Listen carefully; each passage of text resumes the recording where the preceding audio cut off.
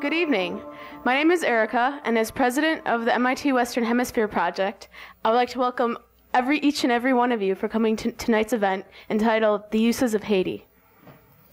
What I would like to briefly discuss with you right now is just to um, mention that this event was co sponsored by the MIT Western Hemisphere Project, MIT Student Pugwash, and the MIT's Technology and Culture Forum. Um, as you can see up here on the board, uh, there's three coming events. Two are tomorrow. One is an evening um, of Latin American chamber music and a Pugwash student conference entitled Technology in the New Global Context, Rethinking Social Responsibility. I encourage people to attend those events, and the Western Hemisphere Project will be having an open meeting within um, the next two weeks. Okay, briefly to discuss, I'd like to mention that our schedule for this evening is, is as follows. First, I'll give introductions, introduce Nancy Dorsinville, who will introduce our two speakers this evening, um, Drs. Paul Farmer and Professor Noam Chomsky. Um, Professor Chomsky will speak for roughly half an hour, and Professor Farmer will speak for roughly half an hour and will be followed by questions. And now I'd like to begin with an introduction. As a research fellow at the Harvard Center for Population and Development Studies, Nancy Dorsinville's work focuses on health and social justice issues within the Haitian diaspora. As a social anthropologist with a specialization in migration studies, she lectures on women's health and violence at the Harvard School of Public Health. Her research also includes domestic violence as a public health concern among Haitian women. She's presented her work at a wide range of academic and international conferences, most recently at the UN Conference Against Racism in Durban on the intersection of migration, xenophobia, and violence against women. She is a member of Partners in Health, an advisor to Women's Program at the UN Academy, and an affiliate at the Harvard Program in International Analysis and Conflict Resolution. Currently, she is a faculty advisor for the Harvard Haitian Students Alliance. And now, with great pleasure, I would like to present to you Nancy Dorsinville.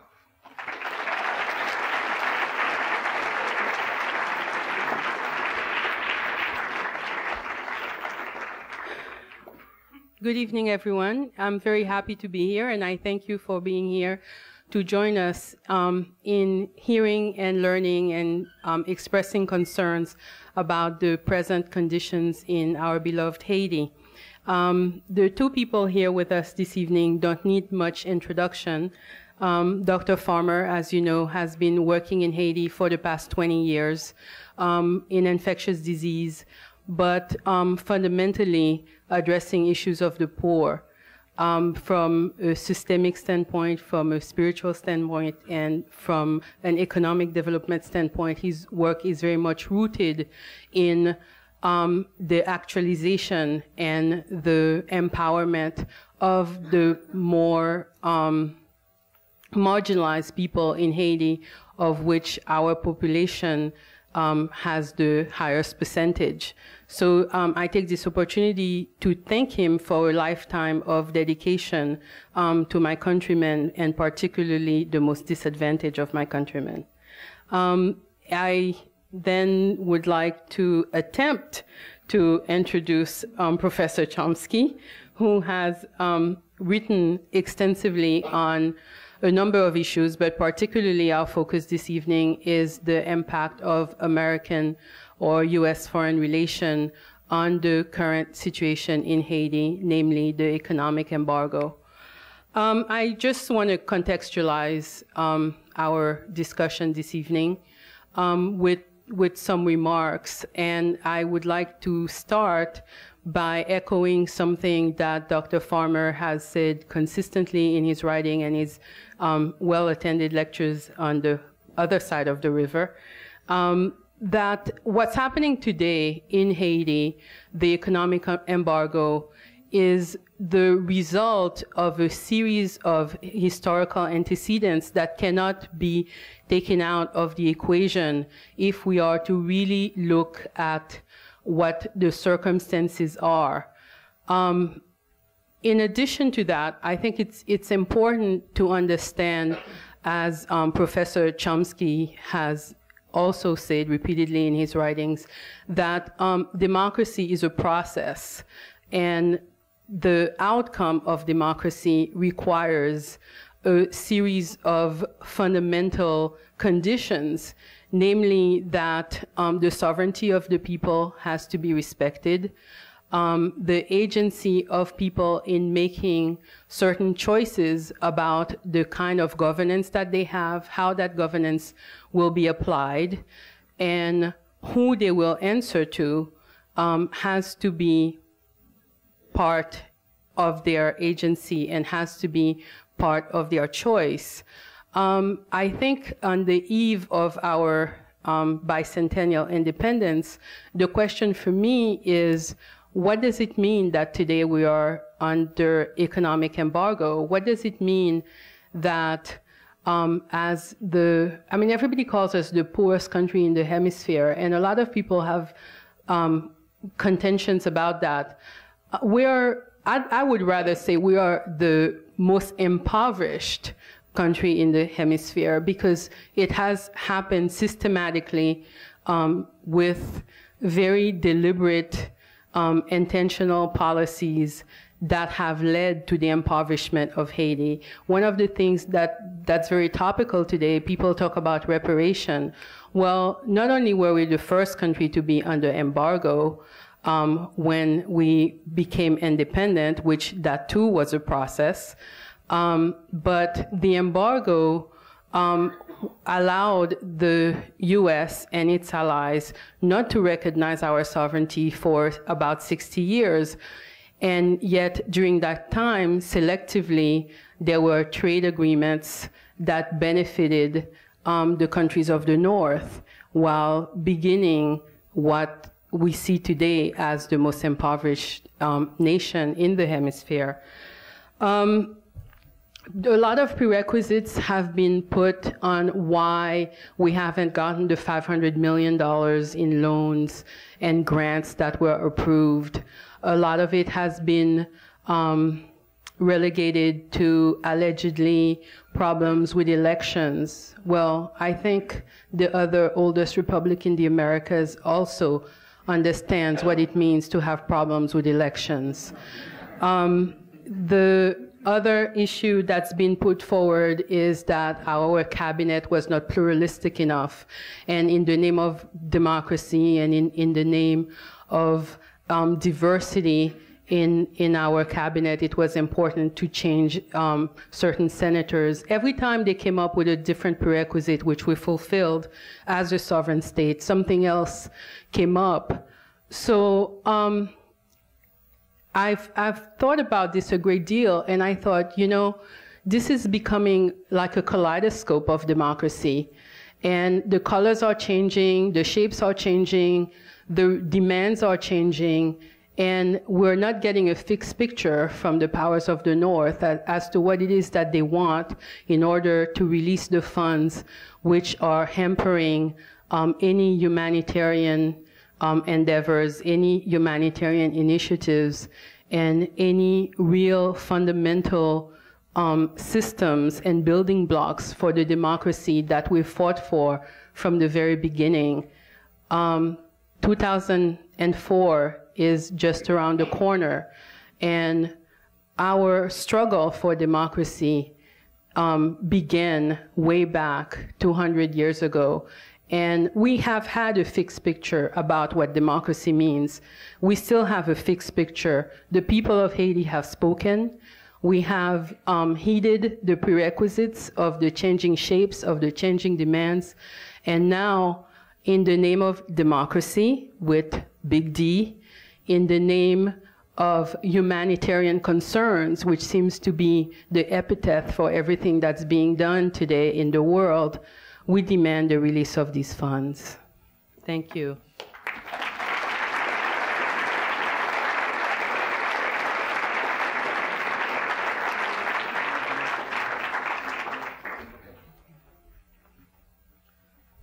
So now um, Professor Chomsky is going to talk to us and share his um, thoughts about the implications of American foreign policy on the economic embargo imposed on our country today.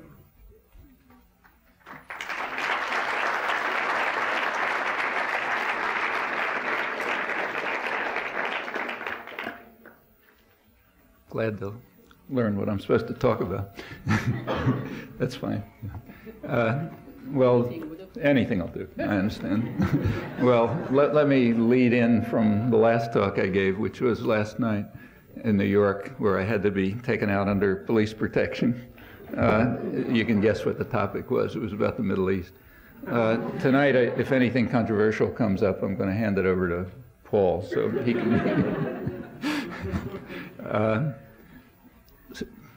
well, a word about the Middle East. The uh, maybe just so I can have some continuity. uh, a very short word. Uh, you may have seen uh, kind of an interesting article in the New York Times Magazine a couple of weeks ago by Deborah Sontag on the Palestinians.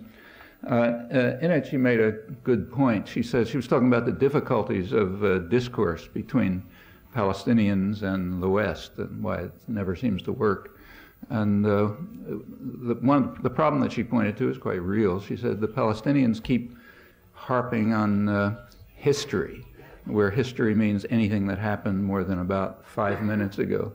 Uh, and the West doesn't want to waste time on all this sort of old fashioned, boring nonsense, but just get on so that the West can lead the way to a glorious future.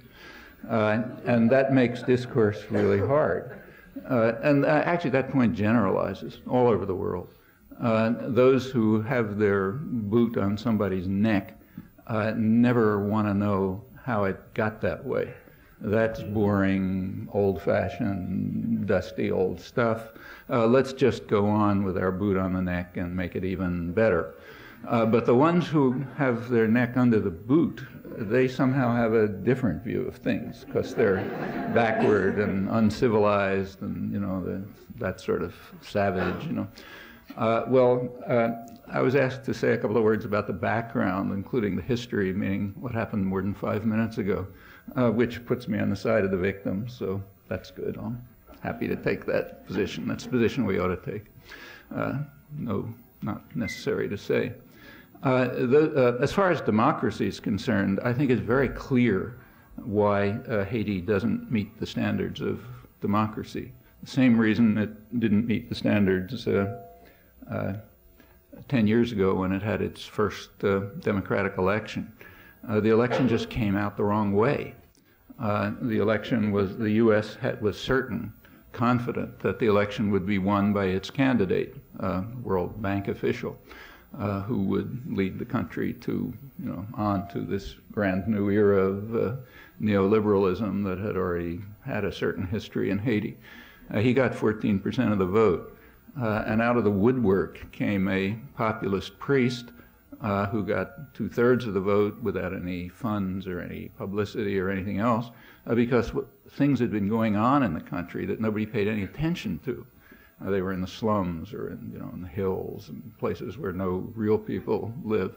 But they had organized a, you know, a vibrant democratic society, maybe the most democratic society in the hemisphere, maybe in the world, uh, but on their own, you know, without control from above. And that doesn't fly. You know, that's not democracy. Uh, it's not for us or anyone else. And furthermore, this is pretty official. Uh, so instead of quoting myself, I'll quote a real expert. Uh, Thomas Carothers is the best known scholar of, uh, on issues of, Latin, the, of the emerging democracies in Latin America. He's written the standard work, and he writes from an insider's perspective. He was part of the Reagan State Department. Uh, involved in what they call democracy enhancement programs. So when he writes on the effect on you know bringing democracy to Latin America. He writes from both as a scholar and uh, as an insider, and he's pretty honest about it. Uh, he says that the Reagan policies were very sincere, but they failed, and they failed in a curious way. He said in the areas where U.S. influence was least, namely in the southern cone of Latin America, there were real steps towards democracy which the Reagan administration tried to prevent but wasn't able to prevent. They sort of happened anyway.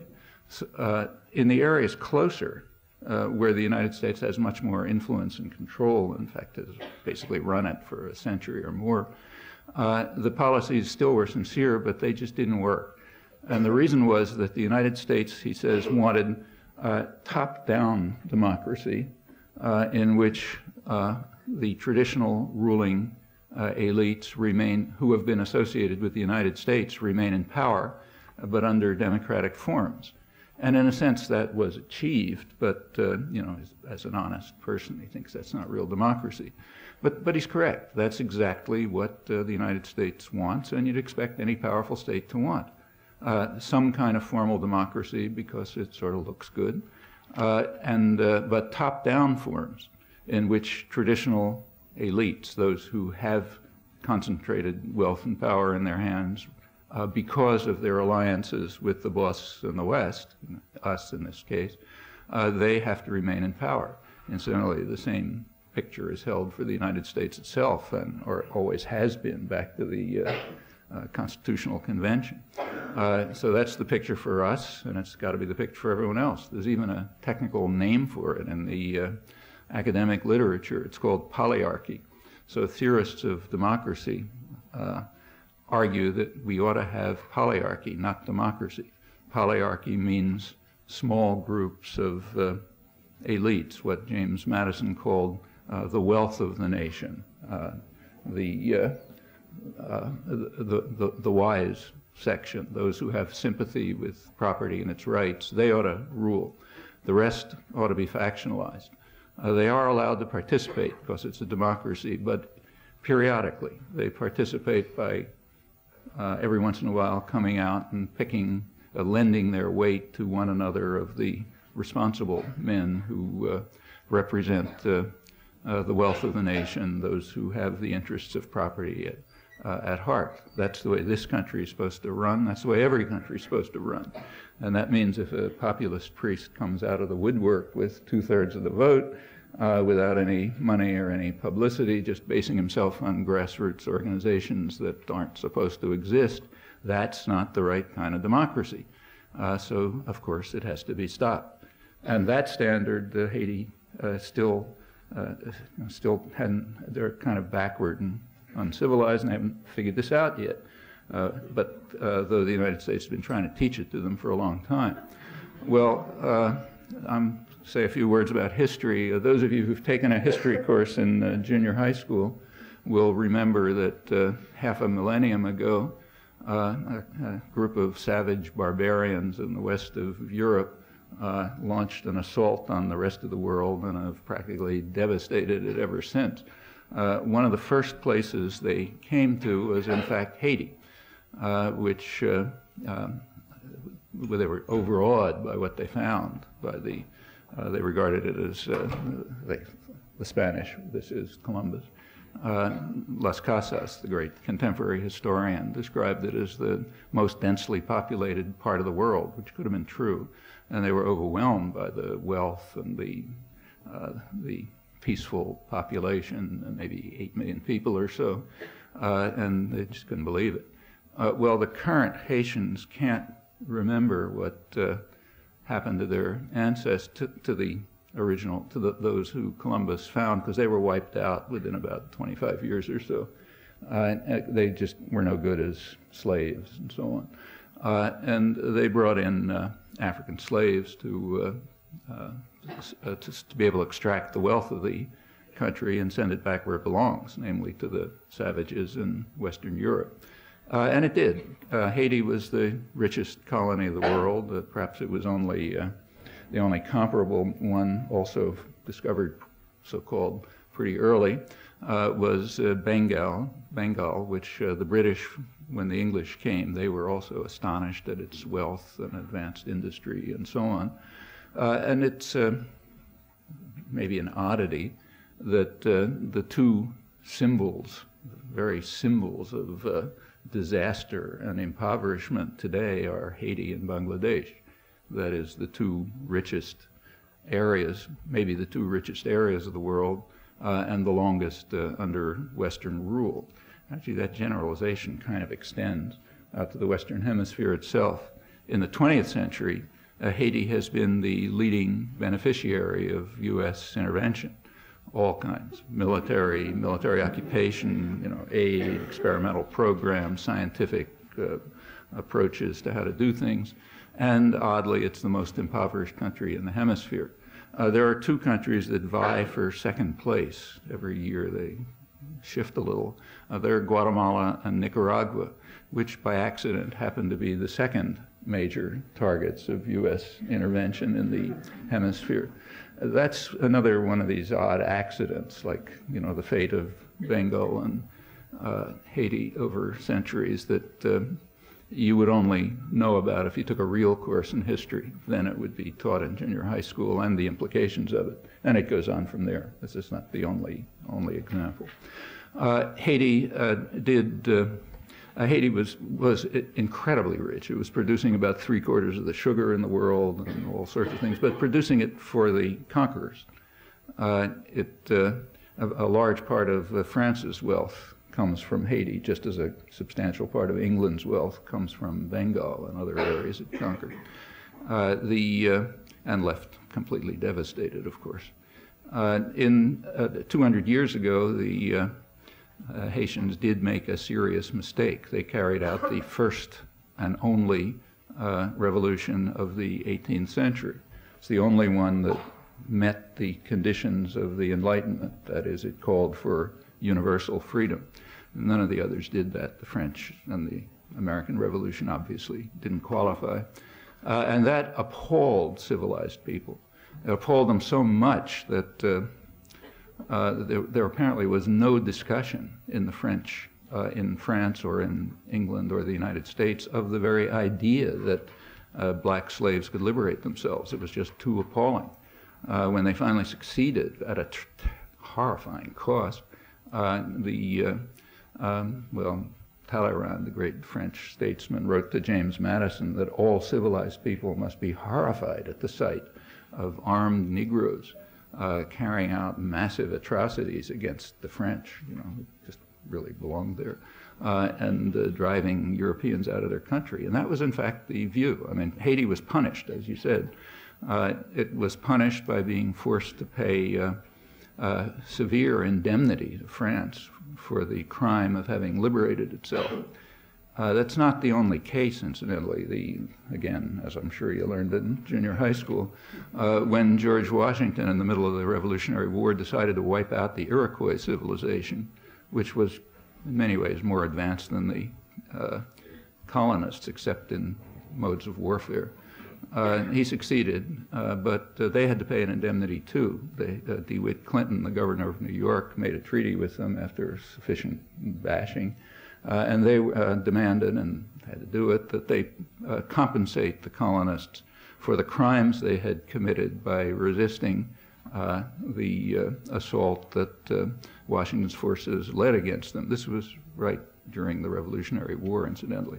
And it's not the only time. Uh, in the 1980s, uh, uh, Nicaragua, the, U- the, U.S. was ordered by the World Court to pay substantial reparations to Nicaragua uh, for uh, the crime of international terrorism for which it was condemned. Uh, but power relations turned it the other way around. Nicaragua pays indemnities to us. the Vietnamese have to pay the United States the costs the, uh, uh, the costs of running the client regime in South Vietnam. Uh, literally, that's what's happening. Uh, and that's the way power relations work. Haiti's a particularly grotesque example of it, but it's true. Uh, finally, the U.S. did recognize Haiti as the last major country to do so. Uh, and it was 60 years. It was 1862, and there was a reason. it was right in the middle of the Civil War. they were going to liberate the slaves uh, and there was a problem about what to do with them. Uh, we had to satisfy uh, Thomas Jefferson's uh, dictum that the country had to be, as he put it, free of blot or mixture of red or black. Well, the red part was pretty easy, you just exterminate them. Uh, but the black part, they were hoping uh, um, that they could be sent somewhere. In fact, the United States recognized Liberia in the same year, 1862 the idea is, well, you know, sort of get rid of these savages who don't belong here. Uh, uh, and that was the context in which Haiti and Liberia were indeed recognized. The latter part of the 19th century, the European powers and the United States were jockeying for control of the uh, Caribbean, which was an extremely, a very central area in world affairs. Uh, for one reason, because it was uh, uh, the main uh, source of soft drugs tobacco, rum, sugar, various, which were very badly needed in order to pacify the working classes in England and others who were uh, benefiting from early industrialization by being devastated themselves. Uh, and uh, uh for the, a lot of the wars of the period were, in fact, fought over the Caribbean for those reasons. Uh, the uh, actually, the same story goes on in India, but I don't want to get too far off. the the British actually were running the biggest narco trafficking enterprise in history, it turned out, in the late 19th century. Interesting story for that reason. Uh, the, uh, the end result of it was that the U.S. became the dominant power by the early part of the last century, uh, and uh, Haiti was still considered a very uh, uh, important colony, plenty of wealth worth having. Woodrow Wilson invaded it in 1915 it's an example of what's called until today Wilsonian idealism. He invaded Haiti and the Dominican Republic. Uh, and here the memories split. You know, the Haitians remember it one way, the, the United States remember it another way. Uh, when Clinton sent the Marines in 1994 uh, to restore democracy, I'll get to that, uh, there was a lot of discussion in the press and scholarly literature and so on, and uh, there were a lot of warnings that Clinton ought to be careful not to, uh, before following the course of uh, Wilsonian idealism, uh, which uh, tried to impose order in this savage place in 1915. And in fact, the New York Times even compared the problems he was facing to those of Napoleon. Uh, in uh, the early 18th century, Napoleon and Wilson, both idealists, were trying to impose order on savage places uh, where the people have homicidal tendencies and have no experience with democracy like Napoleon had, and have no savagery like the United States had. You read this right in the, the main columnists in the uh, New York Times and Washington Post. And we have to be really careful about that because the uh, these uh, savage gangs with their homicidal tendencies, on the one hand, the Tonton Macoute, who killed, I don't know, tens of thousands of people under the Duvalier dictatorship. And another one was the, uh, uh, the military junta, which the U.S. was actually supporting, though it was pretending to be opposed to, which had killed, I don't know how many, maybe 5,000 people. And then the third homicidal gang uh, was, the one, was the peasants in the hills and the people in the slums uh, who had, uh, who had uh, conducted, you know, who had really made this uh, hideous error of having voted in uh, uh, uh, as president somebody who was going to carry out reformist policies. so between these three gangs with their homicidal tendencies, seeking revenge in the traditional Haitian fashion, uh, you know, barbarians who have no, don't understand anything about civilization and stuff, which is exactly the way it's discussed. Uh, the, U.S. should be cautious. Uh, the uh, uh, the from the Haitian point of from the U.S. point of view, the the um, Marine, the U.S. the Wilsonian Wilson occupation was ben, was benevolent. Um, so in 1994, leading historians like David Landes at Harvard explained that this was a period that really brought many benefits to Haiti for the first time. But as he pointed out, even the most benevolent uh, occupation does sometimes arouse resentment. So the Haitians kind of didn't all totally applaud. And others chimed in with the same story, other distinguished figures. Uh, the, uh, uh and the State Department had explained at the time, and this goes into history that many of the measures that the uh, uh, Wilson introduced were indeed very benevolent. Uh, so, for example, uh, they uh, induced the uh, Haitians, as the State Department put it, by rather high-handed methods. I'll come back to those, but they induced the Haitians to accept progressive changes in the Constitution. See, these backward people had laws which prevented foreigners from buying up the entire country. Uh, and that is very unprogressive, and it's obvious why. Anybody who's taken an economics course would understand the State Department reasoning. Uh, obviously, to develop, Haiti needs foreign investment, uh, and you can't expect U.S. investors to put money in there unless they own it. Uh, so the best way to raise Haiti out of its backwardness uh, is to change the constitution uh, to allow Western, U.S. means U.S. Uh, uh, corporations to buy up Haiti's lands. And what were the high-handed methods? Well, the high-handed methods were to send the Marines in to kick out the parliament and then to write a constitution. the author, the person who took credit for the Constitution, though probably falsely, was Franklin Delano Roosevelt, uh, who incidentally hoped to make a killing on it himself by buying up some Haitian lands. Uh, the new Constitution uh, was presented to the Haitians for a vote because we're a democratic society, and it was voted in uh, by, I think, 99.9% of the 5% of the population who voted. Uh, so the methods were kind of high handed but benevolent. Uh, and it was also necessary to impose order. There are these savage gangs with homicidal tendencies, so the Marines had to restore order, and they killed, according to the internal Marine investigation, they killed 3,500 of them. According to Haitian historians, they killed 15,000 of them. Uh, uh, but in any event, they killed enough so that they put down the resistance the, to the that even the most benevolent uh, occupation elicits. Uh, the, they, they essentially reinstituted slavery. Uh, they uh, uh forced labor. Uh, there was some road building, mainly for the corporations that were coming in to buy the place up. and indeed, a lot of it was bought up by the West, very progressive. West means mostly U.S. And they left the country after 20 years in the hands of a murderous uh, National Guard, trained, armed by the United States, run by dictators. Exactly the same thing happened in the next door uh, Dominican Republic, except in Haiti it was a little more vicious because it was there was plenty of racism with regard to the Dominican Republic, but they were only uh, you know spics and dagos in the terminology that was used, uh, whereas in uh, Haiti they were niggers, and worse they were uppity niggers. Uh, so Wilson's uh, Secretary of State uh, thought it was really comical to see, as he put it, niggers talking French. You know, Boy, this is really funny. Uh, but the uh, uh, and they really had to be put down.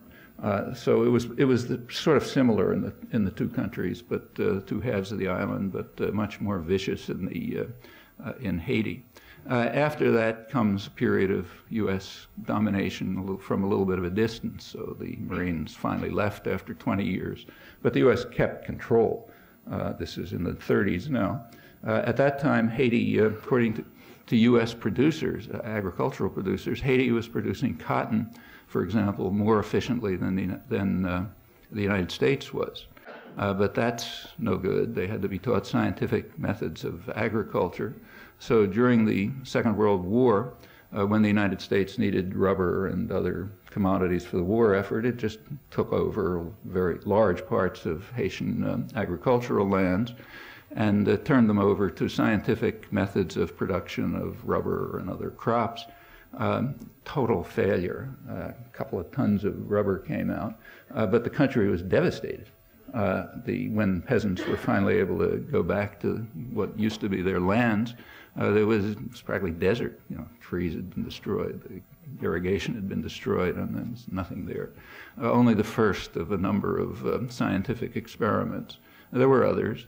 Uh, in the 19, uh, meanwhile, it was under U.S.-backed dictatorships. In the 1970s, the World Bank and USAID decided to lend their assistance to this backward country, and they uh, initiated a course of economic development that was going to turn Haiti into, as they put it, the Taiwan of the Caribbean. They really had a bright future ahead of them.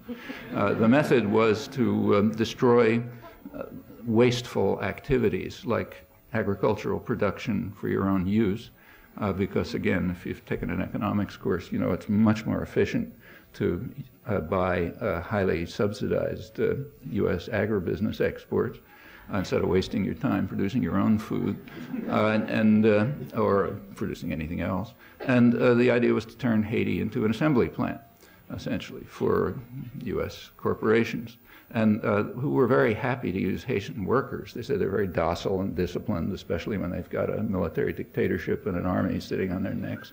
And they are much cheaper than the ones in, say, Panama and other places where, you know, we haven't had that much progress. Uh, so it was going to, and in fact, uh, uh, this went along with other experiments, like, for example, USAID, uh, Paul's written about this, uh, decided that the Haiti, a lot of the Haitian peasant economy was based on a very hardy breed of pigs. They were used not only for food, but it's a big part of the culture. But the scientific agricultural experts decided that these pigs might be susceptible to swine flu, although there wasn't any. So they decided the best idea would be to wipe them out, which they did uh, and replace them from, with uh, better pigs, ones from Iowa. So they brought in fancy pigs from Iowa, uh, which, yeah, what, is that what they're called? White pigs? yeah, white pigs. and uh, they're great as, as long as you keep them in air-conditioned places and you know feed feed them with very fancy food that you buy from U.S. producers, you know, at a high cost. Uh, so it, you can actually keep one of these pigs apparently if you have an income about I don't know three times uh, that of the annual income of a peasant in Haiti. that was another contribution. Meanwhile, the economic miracle proceeded. Haiti was turned into, on its way to becoming the Taiwan of the Caribbean uh, during the 1980s. Uh, uh, wages dropped by about 50 percent. Uh, and um, the uh, agricultural uh, Haiti was self-sufficient in rice, virtually self, and in fact a pretty efficient rice producer. It could have been better even, uh, but that's inefficient. So they were rice. They were forced to adopt the standard neoliberal package, you know, structural adjustment package, cut your tariffs, you know, privatize, that sort of thing. Uh, the result was that Haiti now produces, I don't know what it is, maybe 50% of its rice, maybe less, something like that, uh, because Haitian producers, no matter how efficient they are, cannot compete with U.S. agribusiness, uh, which is getting 40% of its uh, income from subsidies, government subsidies, under the Reagan administration. Remember, this is, this is market, free market theory, which has a traditional form. It's markets for you, but state protection for me. You know, that's the way it's run for hundreds of years, and that's why the world is divided into a first world and a third world. Actually, that's literally very close to true. Uh, so Haitian uh, peasants, of course, can't compete with uh, highly subsidized U.S. Uh, agribusiness, uh, and they were wiped out. Now, in the neoliberal order, this free world that we live in, uh, Haiti has a remedy. they can impose anti-dumping restrictions on the United States. That is, they can threaten the United States that they'll close the Haitian market to U.S. exports, uh, the same way that Clinton does, for example, when U.S. consumers uh, prefer Mexican tomatoes or Japanese supercomputers. He can just close the market to Mexico and Japan unless they stop, threaten to do so, unless they stop uh, exporting, and then they stop for odd reasons. Uh, and Haiti can do the same to the United States, because after all, it is a free system. It's the World Trade Organization rules, but for some reason they didn't do it. You can figure out why. Uh, but uh, so, uh, uh, so Haiti was in fact uh, devastated by this by this experiment again. finally, they did over. The U.S. was supporting the dictators right all the way through until the last minute, when even the army turned against them. At which point, the United States decided that there should be a transition to democracy. Uh, then came, I won't go through the details, but the build up to the election, which was certain, you know, they were certain that the U.S. candidate would win. There's no way you could fail to win. And it came out the wrong way. And the U.S. instantly changed policies. Uh, it, uh, U.S. aid was, uh, was diverted away from the government towards anti government agencies. Uh, every effort was made to undermine the government. Uh, Aristide came into office in February 1991. Uh, the, uh, uh, the, refugee policy was changed in radical violation of international law and the Universal Declaration of Human Rights. the Carter administration had begun blocking barring people who were fleeing from the paradise that the U.S. was creating. Uh, essentially, not unusual. Uh, take the Mexican border. The Mexican border has been very is artificial, like every border. It's the result of conquest, and it's been very porous throughout its history until 1994. Uh, after NAFTA, the border was militarized uh, by under Clinton's Operation Gatekeeper.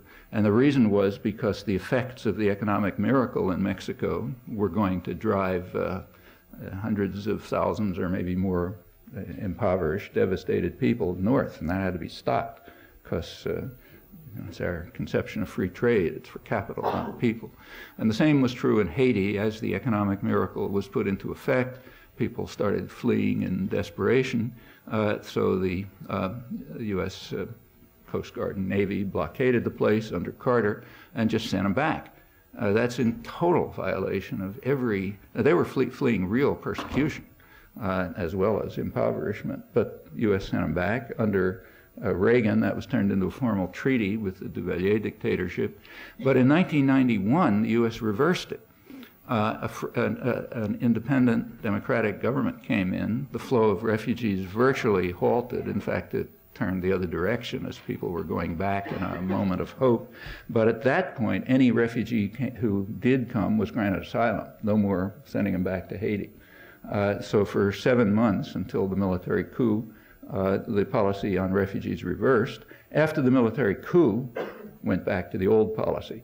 Uh, Bush uh, again started returning the refugees. Clinton harshly condemned this in the 19, 1992 election. And as soon as he got into office, he made it even harsher.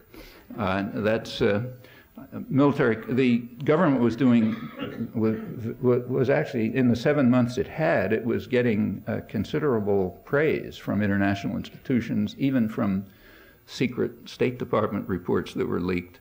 it was uh, for progressive measures for eliminating needless bureaucracy, for getting rid of oppression, and so on. They were getting substantial loans, in fact which made it even worse because the country might fall out of U.S. control. military coup came along. Uh, the Organization of American States declared an embargo. Uh, the Bush administration almost immediately undermined the embargo by exempting uh, U.S. Uh, producers, uh, which happened to include plants owned by the Haitian elite, you know, the rich Mevs family and others. They were excluded from the embargo and imports were allowed in.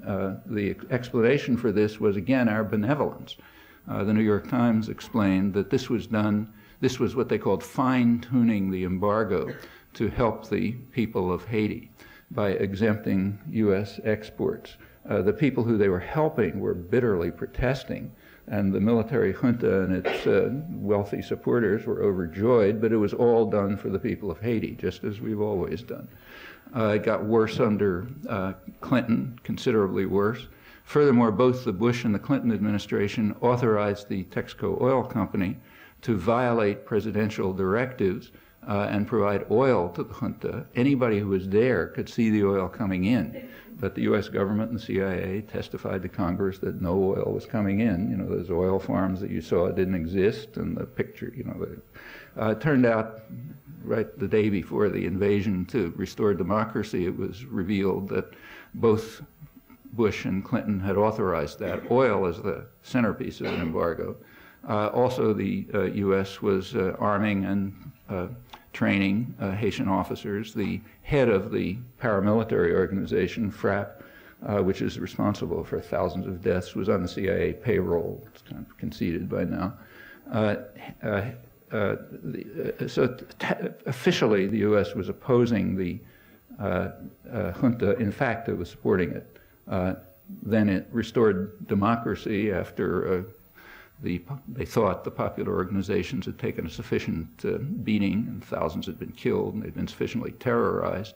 And the terror was extreme. I mean, I don't want to talk about it because you know much more than I do, but I was there for a few days at the peak of the terror. And, you know, I've been in places that are under severe repression. Uh, I just came back from Turkey a couple days ago where uh, in the southeast where it was, uh, there's 15 million people living in a dungeon, you know uh, in an area where millions of people have been driven out of, uh, uh, of the surrounding region, which has just been devastated. in some of the worst uh, ethnic cleansing and atrocities of the 1990s, for which you and I paid, incidentally. This was done with U.S. support uh, and uh, military aid, and that's why you don't hear about it. Yeah, I'm up. Uh, but uh, uh, it, compared with, you know, the people there are under severe oppression, police everywhere, army everywhere, but I've, there are other places. I've never seen anything like what I saw in the slums of Haiti back in 1993 when people were literally afraid to talk. The only thing they would say is uh, things like "there are eyes everywhere," you know, can't talk, you know, that sort of thing. Uh, but after this terror was had succeeded, they thought, in achieving its ends, uh, Aristide was permitted to return, but on a condition, namely the condition that he accept the program of the defeated U.S. candidate. Uh, so if you, uh, which is precisely the, the, wording that was used. He said you've got to uh, direct the renovated government has to direct its uh, action, uh, has to focus its uh, uh, uh, its policies on the needs of civil society.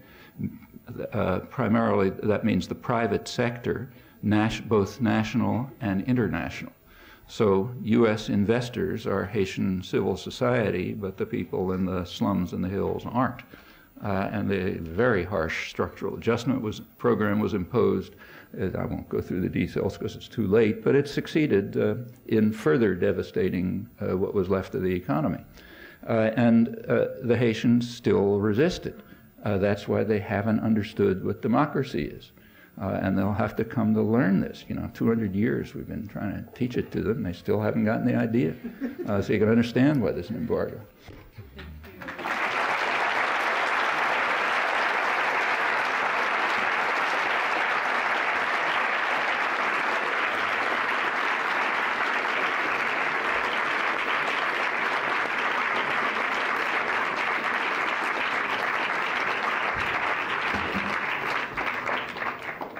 Thank you, Professor Chomsky, for laying the groundwork for Dr. Farmer's um, current um, analysis of the Haitian situation, economic, political, um, in the backyard of democracy. Thank you.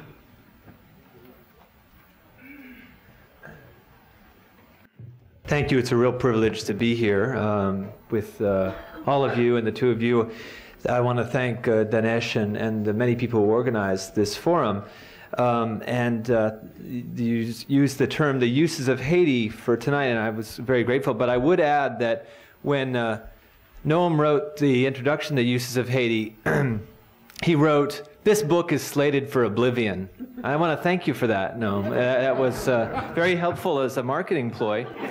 Um, and uh, of course, as as ever, he is he is correct. I, I, just came from the hospital and I was rounding and and uh, I was seeing a patient. I was late. And I said I got to go. I'm giving a talk with with Noam Chomsky. Uh, one of the people on my team, by the way, said, "Why can't he come around with us?"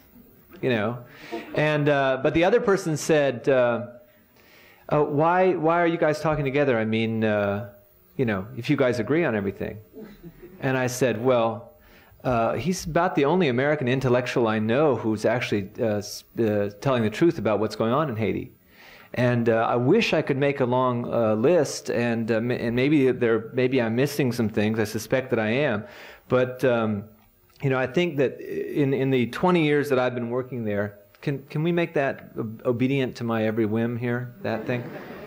in the 20 years that I've been working there, uh, I think that uh, a lack of forthright analysis has never been so wanting. And uh, I, am a physician and mostly do medical work, but um, I, I feel compelled to, to, to make up something as he fixes the slide machine. Anyway, could you tell?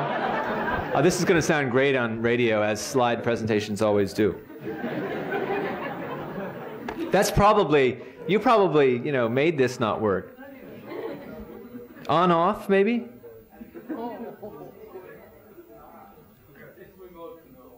Yeah, it's not real remote. Uh, there we go.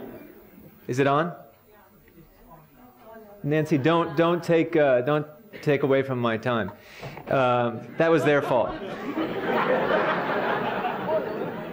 Um, I'm no matter how you look at Haiti, and I look at it as a physician does, um, the situation is, is grave. And I'll, I'll spend a fair amount of time talking about uh, what's going on now. Um, and I will not spend a fair amount of time going over the statistics. Uh, I'll be glad to share them with any of you uh, from the sources that we think are fairly reliable. But life expectancy has dropped in Haiti over the past few years. Um, people don't have access to clean water. Uh, births are not attended. It's very dangerous to have a, a child in Haiti. In one study, for every 100,000 children who were born alive, 1,400 women died uh, in childbirth, the highest by far in the hemisphere, one of the highest in the world. And so, as someone who works with many others who are providing healthcare services to people living in rural Haiti, into one of the poorer parts of Haiti, which is saying a lot, um, we need to be concerned and engaged in understanding what is driving forward this, uh, this really wall of, of pathology. And I'm, of course, thinking about pathology in terms of individual patients' illness, but the pathology, as, as Noam has said, is social uh, in origin and is, in tra- is transnational in origin and is historically rooted in a series of processes that, unfortunately, uh, for many of our commentators, did happen more than five minutes ago. And so understanding what's happening now uh, means that we have to understand what has happened in the past. The decline of the Haitian economy in recent years has been severe. It's been a, you know, one of the uh, most striking trends uh, in Latin America. This is uh, from the United Nations Development Program, a what I've called here economic devolution, shows the negative growth rates of the economy. And uh, and there are many ways of looking at misery. I, I do have to wonder uh, who puts together things like the Human Suffering Index. It's not really what I would like to do as a pastime. But uh, when something called the Human Suffering Index was put together and first published not too long ago, uh, Haiti was the only uh, country in the hemisphere uh, that figured in the top uh, five. It was number three. And the only two other countries ahead of it were both in the middle of a civil war. And in reflecting on this datum uh, of Haiti ranking number three in terms of human suffering, uh, you know, you, you came to think about the conditions there as a sort of war. And it's a war of the rich against the poor, basically. And the, the rich, of course, are sitting in many different places, not so much in Haiti right now, but they're there too.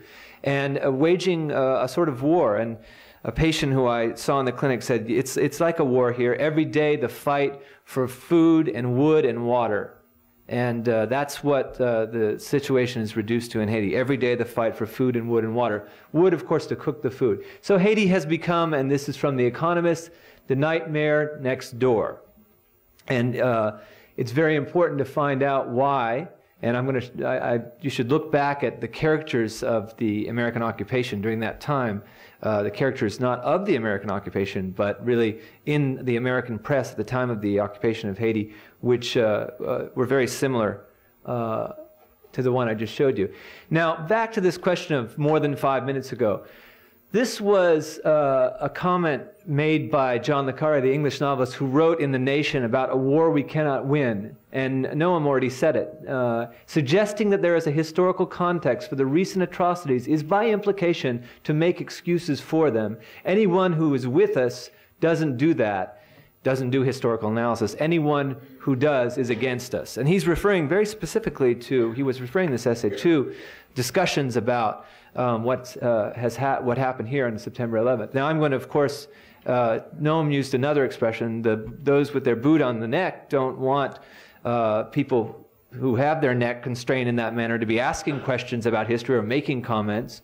Uh, and I'm going to do just that in talking about, uh, echoing many of the things that were already said, but I want to add a couple uh, to that. Um, and I can speed through this part because Noam went through it already. The first European settlement in the New World was in Haiti. And that's where, in fact, one of those three ships, uh, I can't remember which one, I'm sorry, Noam will of course know, uh, found off, foundered off the coast of Haiti uh, in 1492. And uh, part of the wreckage was used to make one of the, the, the first European settlement in, uh, in the New World.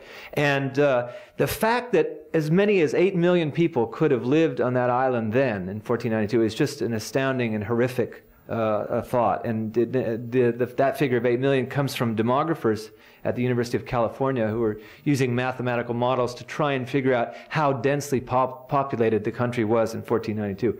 An astounding and uh, terrible uh, series of events. But as already been mentioned, if the Indians wouldn't do it slaves, as slaves, then we needed more hardy slaves, and uh, this is a, uh, actually the subject of great uh, interest in Haitian scholarship and history, was the the change from using indigenous slaves to, to uh, kidnapping people in Western Africa. Just as a couple of asides to give an idea about the scale of what it took to make Haiti the most profitable colony in the world, in European history probably, uh, it took up to 29,000 slaves a year as imports. So Haiti was, in fact, the number one destination in the New World for slaves. Uh, it was uh, ahead of, of, of Cuba and uh, far ahead of the other islands around there, ahead of the American South. And in fact, that fact, 29,000 was at the peak, and that fact, uh, demographic fact, is one of the reasons that led to the Haitian uh, revolution is that there were just so many slaves compared to slave masters that the, uh, the numbers were eventually on the side of the enslaved who, uh, who staged a series of revolts throughout the New World, but only one of them was really successful, the Haitian uh, rebellion, in terms of uh, leading to you know, victory to the, to the slaves. And um, from 1697 on, it was the French who were the slave masters. Um, and uh, they replaced over the ensuing century the, the, the Spanish and made Haiti into a really earnest producer of tropical produce, coffee. By the way, please don't be knocking soft drugs. Uh, coffee, uh, sugar, cotton, uh, indigo, other things that couldn't be uh, grown in Europe. And Haiti was, as, as has been mentioned, providing about two thirds of all European tropical produce by the time of the French Revolution. The French, excuse me, the French Revolution. Um, got to get that right. And I think the Haitians, or would be the, uh, in agreement that the, the Haitians here tonight, I know the Haitians in Haiti are in agreement, that the, none of these revolutions in, in Europe were, were really serious. As the Haitians would say, that they weren't serious because any serious revolution would, of course, liberate the slaves. When the, uh, the slave owning mulattoes went to, Haitian, to, to France to speak in front of the national parliament in France, the, the so called revolutionary parliament, they went to argue for the right of, of uh, mulattoes to own slaves. So, again, I, uh, I have to ask how, uh, how resonant is that, that performance of the first Haitian elite with their performance uh, in the ensuing 200 years? Uh, I work with, I'll just say it right, right now, I work in rural Haiti with uh, people who call themselves peasants and who have very much uh, slanted, if you will, towards truth, in my view, uh, the way that I see this. But that was one of the first uh, gambits of the emerging Haitian elite who owned slaves was to have the French recognize their right to own slaves. So the real Haitians, the slaves who revolted, were also leading a revolt against the mulatto elite who wanted to continue, to continue owning slaves. And of course, not all the mulattoes uh, and this term, by the way, is uh, from colonial times. There was a, and, and, of course it's a social construct. I'm just using the terms that are used in, inside Haiti. But there was about 28,000 French living in Haiti, about maybe 40,000 uh, so-called mulattoes, uh, mixed of, of French and, and, and, African descent, and about half a million adult slaves. And so there were also children and the, the adult slaves were men and women uh, working and counted as slaves. And in fact, the, the, the French uh, kept rather meticulous records uh, of the colony, and so we have a lot of quanti- you know, in, in information about what uh, life was like uh, during the slavery and, and, during the colony, and I'll just go through some of that. Um, I mentioned already that, uh, that uh, the, the, the, size and scope of this little factory, which is the size of the state of Maryland, was just churning out wealth.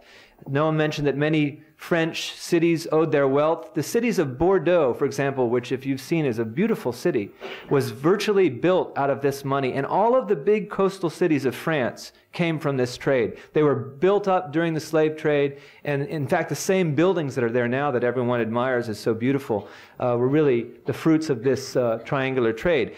The impact, of course, in Haiti on the lives of these slaves was. Uh, was terrible. One in three slaves dying uh, within uh, the first three years of life uh, in, the, in, in Haiti, in the colony.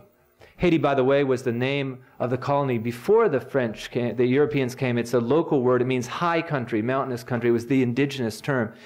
And uh, it was taken back by the uh, leaders of the Haitian Revolution after the Europeans were defeated.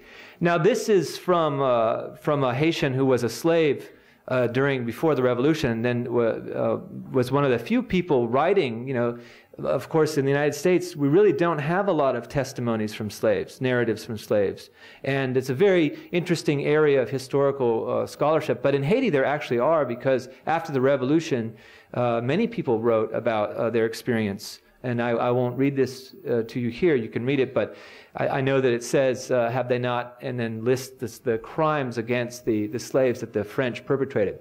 Now, the revolution began in 1791. The, the, as, as Noam said, the, the only real revolution in the 18th century and went on for a decade uh, and more. And one of the amazing things about the revolution was that Haiti was considered so important to the French economy. Again, like, like Bangladesh, now considered the international basket case of the hemisphere, that the largest European armada ever to set forth from Europe, uh, uh, since or before, left uh, France under Napoleon's direction to retake Haiti. 80,000 French troops and also conscripts from Poland and other places that the democratically minded Napoleon was uh, taking over in Europe. 80,000 troops, 40,000 Navy and 40,000 ground troops went to Haiti, which again, even to this day, is just astounding to think of that sort of movement of troops across the Atlantic.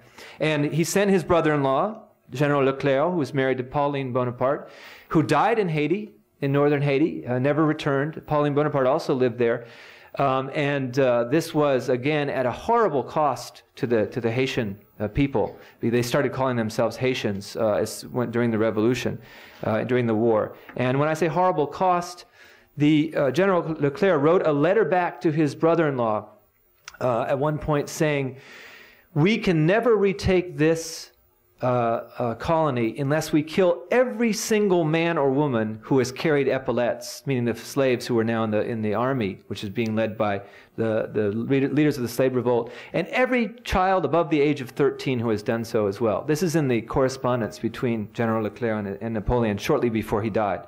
So they he saw he, he already was sending messages back home that this was gonna, not going to work, that they were going to fail uh, unless they had a, a, campaign to wipe out, uh, wipe out the, you know, all, all of the adults. And by adults, as he said, 13 years and over.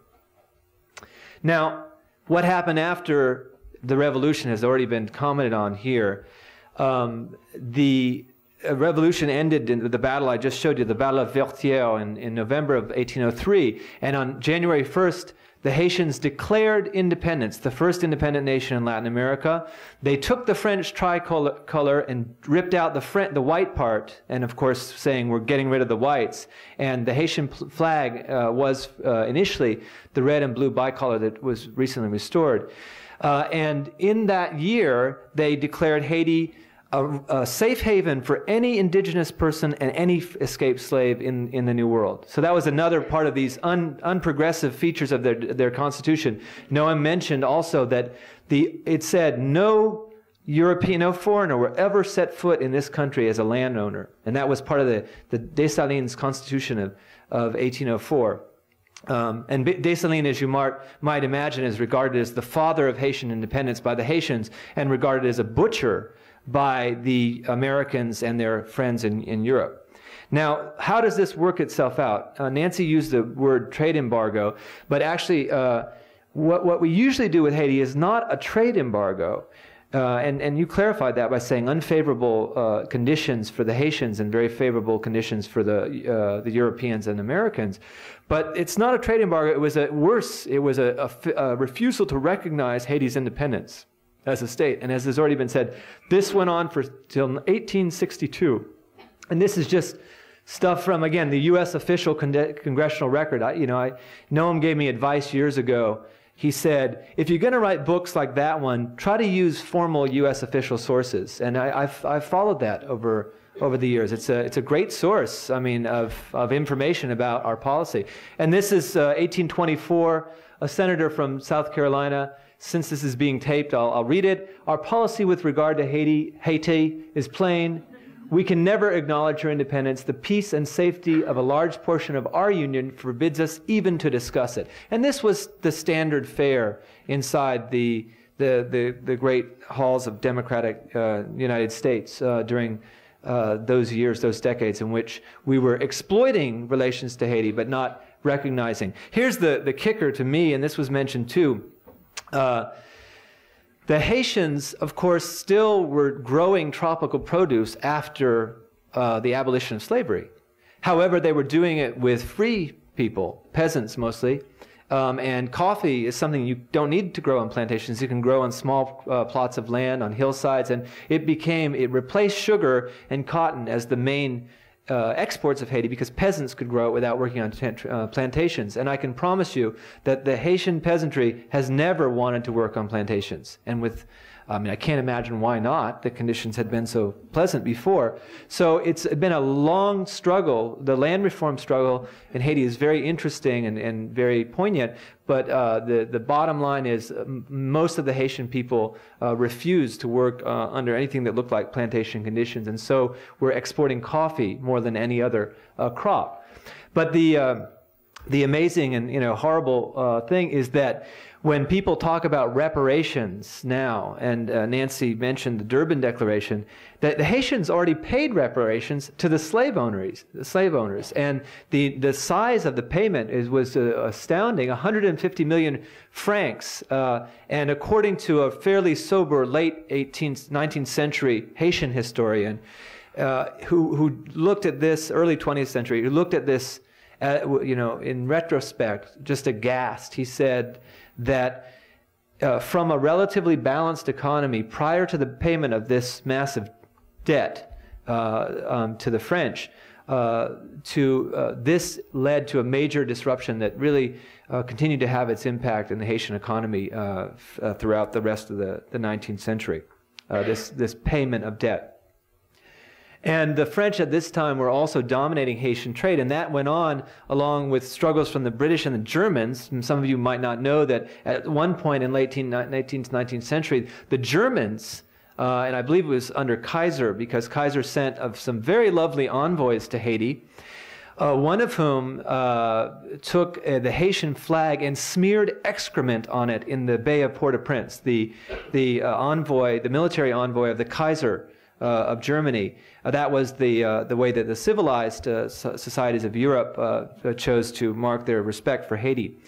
Um, and this went on for some decades. Europe, France, Britain, I mean, sorry, France, Germany, and Britain vying with the United States for influence. But by late, the end of the century, there was really no competition. Although when the, the, the Americans sent in the Marines, uh, in 1915, they claimed one reason was to limit German influence in Haiti, which had already been virtually erased uh, uh, in the previous two years, uh, previous uh, two decades. So when the Marines went in, then began, be, began the intensified series of events and processes of development and scientific development that have made Haiti the paradise that it is today. I would just add that the modern Haitian army, uh, was created by an act of Congress, U.S. Congress, and signed into existence in Washington. And uh, I'm going to soon switch to a sort of local analysis, but when I talk about uh, the valley in which we've been working for a long time, uh, you'll see very similar kinds of events that are really transnational. I mean, the modern Haitian army, how often do we acknowledge that the, the, you know the army that you know we suddenly declared a rogue army after you know really uncompromising and ongoing support for many decades was really created by uh, the American occupiers, not just trained but but created. And then in came the agribusiness. Uh, and missionaries of the uh, early part of the last century, 20th century, uh, and the, the kind of appropriations of land that Noam mentioned in his talk were really huge plots of land to U.S. owned, uh, uh, these were usually with these sort of partnerships with the Haitian elites so that there would be uh, Haitian elite ownership, meaning wealthy people in Haiti, and U.S. Uh, ownership of a, uh, you know, a plantation. No one mentioned rubber, but during the World, the World War II, uh, Haiti also began growing sisal hemp or sisal hemp in order to make big uh, ropes for the uh, the ships. Haiti was the the, the leading. Uh, this is before nylon replaced those. Haiti was the, also the world suddenly the world's leading producer of, of hemp because they could switch the flip the switches on these plantations, rubber, hemp, what, whatever was necessary. Uh, uh, locally, I'm kidding because of course I don't know that hemp has many uh, utilities locally. I guess you can make baskets or things out of it. Now, what was our what, what can we read in that great journal, our um, National Journal of Record, the New York Times, it's already been quoted today. Uh, instability was the pretext, reducing uh, European, German influence uh, during the war. The uh, Convention Haitiano-Américaine, spelled wrong, sorry, uh, was uh, basically led the United, it gave the United States complete administrative control of Haiti, including the ability, as was mentioned, to rewrite the Constitution, to remove those very unprogressive features uh, of the Haitian constitution. And uh, the troops uh, stayed in Haiti until 1934, uh, and you already heard about the resistance. The Haitian people gave spirited resistance to the occupation, and that resistance was based among the peasantry. In the very place where I work, Central Haiti, Central Plateau, that's where the resistance was based. It did not come from the Haitian elite, although there were, were uh, some intellectuals who opposed the uh, the American operation in their own somewhat timorous way compared to the peasantry who really uh, opposed it. The occupation of Haiti uh, led to the re- restoration of forced labor crews, La Corvée. The major roads built during that time were built largely with forced labor. There's grotesque documentation of this available in the uh, historical record. Uh, and it was very interesting to see how it gets retold, sanitized, and retold in, in uh, the non Haitian accountings of this. But the Haitian accountings have the added advantage of being correct. now, um, this led rather seamlessly, in fact, to the Duvalier family dictatorship. That is, there was no no one could come to power in Haiti without the benediction of the U.S. government. From the time of the occupation, of course, when it was uh, overt and formal. But in, from 1934 until uh, until 1990, uh, until 1990, that was really the, the prerequisite for coming to power was to have U.S. backing, and you know from the U.S. ambassador and from other from uh, the latest whatever USAID might be called on that particular day, it's or the other U.S. Uh, institutions.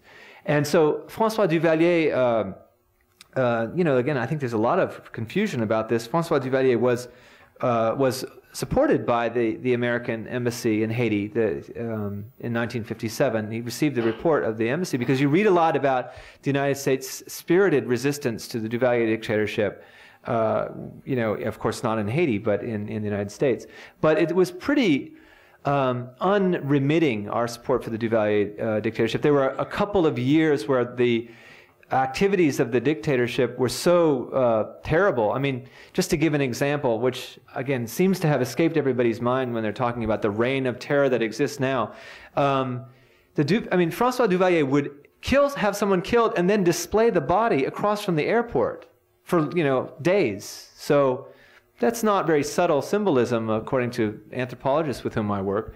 And uh, this was uh, this was again uh, obviously meant to draw attention to the fact that the dictatorship would counter would tolerate no uh, any sort of uh, uh, challenge to its power. Every single independent press, radio, newspaper. The, the few independent-minded intellectuals that may have theoretically existed at that time, they left and or were killed. And it took about, you know, t- 10 years to really shut down any sort of threat from the military, from the army, which was the primary, who, which had been previously the primary determinant of who would, who would uh, come to power, the United States and the Haitian military. Um, not that those two institutions had any relation, of course. Um, and uh, so Francois Duvalier undermined the army and the opposition, silenced the opposition very completely, and uh, uh, spent the rest of his uh, very long reign, he used to say, Palais cimetière. I'm going from the palace to the cemetery, cemetery, you know, and he did. He was there until he died. And then his 19 year old son, who had, uh, from what I understand, had never left Haiti, became president of the oldest republic in Latin America, a 19 year old son, who had, you know, of course, uh, an advanced degree from the Fletcher School. Anyway, um, I'm kidding. That was a joke. Um, I, one, well, anyway, I better be good. I'm on tape. Sorry. So, uh,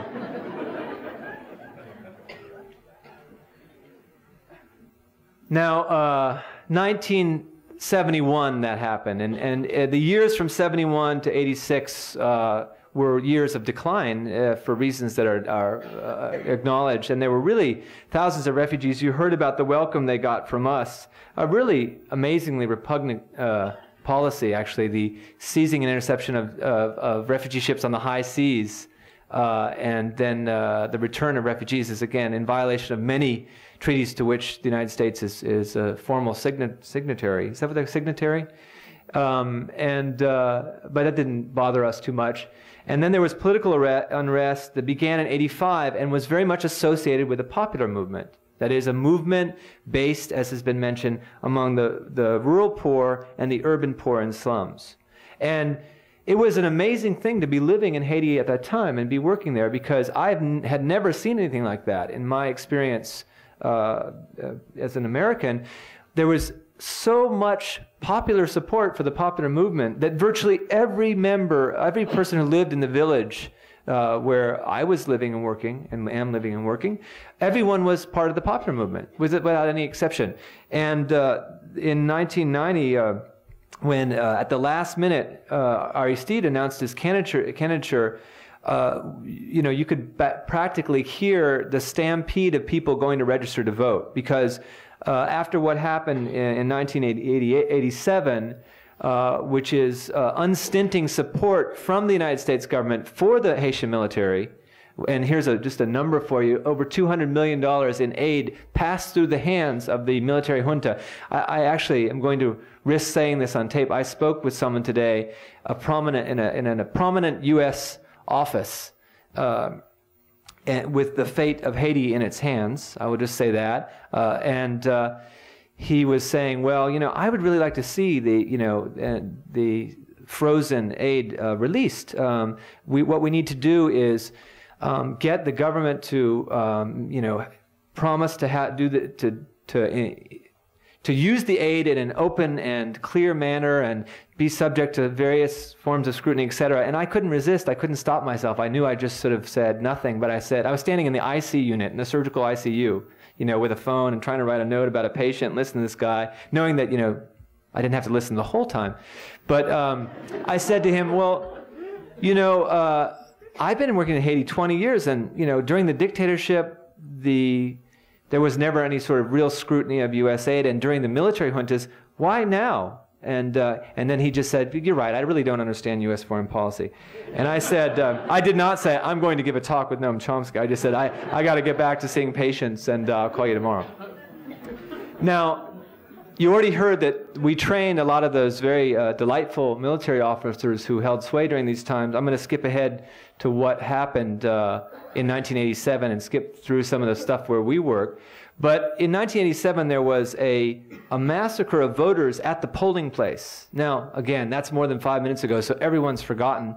But can you imagine? I was there in Haiti that day, and can you imagine seeing groups of people lined up to vote and then you know, seeing them taken out at the polls. I mean, this was really uh, incredible. And, uh, and of course, in the middle of a military uh, junta, uh, uh, the reign of a military junta, um, I mean, uh, granted, it is rather far fetched to suggest that the military may have had something to do with this, but it was pretty clear to the Haitians that this was um, basically the, the action of the Haitian army and who which has had no non-Haitian enemies in you know in in, in hundred, hundreds of years. Only Haitians have been the enemies of the Haitian army.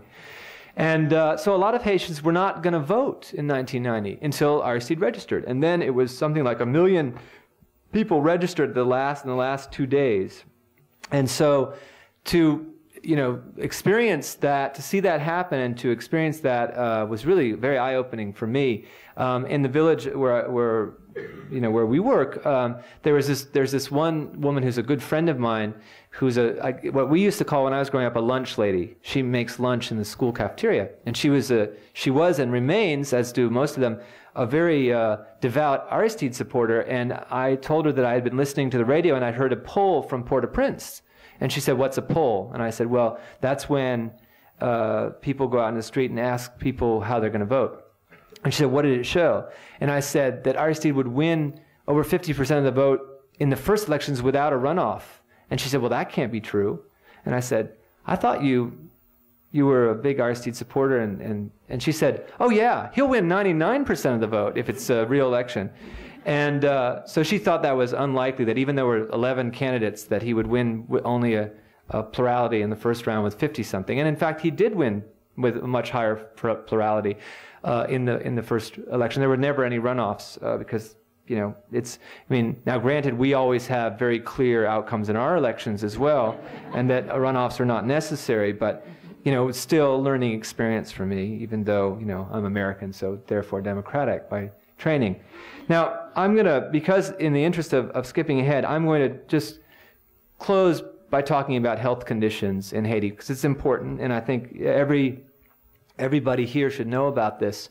Um, the the health situation in Haiti is, is dire by any kind of criteria, and this is a this is a, a an image of a not an image, a picture of a girl with uh, typhoid, typhoid fever, um, which again, along with tuberculosis, you know, and other uh, what the Haitians call stupid diseases, actually, uh, are, are the primary determinants of life and death in, in Haiti. So, of course, one of the first things to do is to have a public health system that takes on these problems. This is, by the way, I can't, couldn't resist putting this image. This is this is a child with anthrax, and um, you know, must be because Haiti is a terrorist state that they, um, you know, that they have anthrax there. That that was actually brought up in the American press, uh, and. Uh, you know, Haiti has real anthrax, meaning the kind that's caused a zoonosis, contact with, with animals. In this, the case of this girl, she has anthrax of the face. It was a goat, uh, and her uh, someone died of anthrax in her in this outbreak. Uh, she came in with another, an adult, and they got treated and did fine, as one does.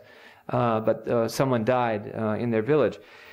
Anyway, someone mentioned in the American press that Haiti could be a terrorist state manufacturing anthrax, and um, and a Haitian veterinarian said, "This is ridiculous. I mean, well, you can't respond to every one of these nutso uh, suggestions." And I, I, had this image in my mind of you know a group of Haitian goats getting together and say, "Let's get a lab going and get some of this stuff off of our fur." And uh, anyway, now I told you about Election Day 1987, and it, I mean, this is inside a school, you know, and I it's just. Uh, it's just awful what happened. And so the, the, uh, the, the willingness to participate in this election of 1990 was really a strong statement about commitment to uh, democracy. And so uh, I mentioned what happened already, but after seven months, uh, there was a, a, violent military coup, and you know this, and it's already been discussed by Noam, which uh, led to the deaths of really thousands of people and massive internal migration in addition to external migration. Internal migration because we were working in rural Haiti, and people fled from the slums out to where we work, and so we saw, you know, enormous uh, changes, and it was just a huge uh, and ongoing disruption for a long time. And as Noam said, it was very frightening, uh, and not the- theoretically. I mean, I personally know a number of people who were killed during that time, including a, uh, a uh, including uh, a Haitian businessman, one of the only ones to, uh, to say, well, you know, the popular movement is probably a good thing since it, clu- it includes about 90% of the Haitian population.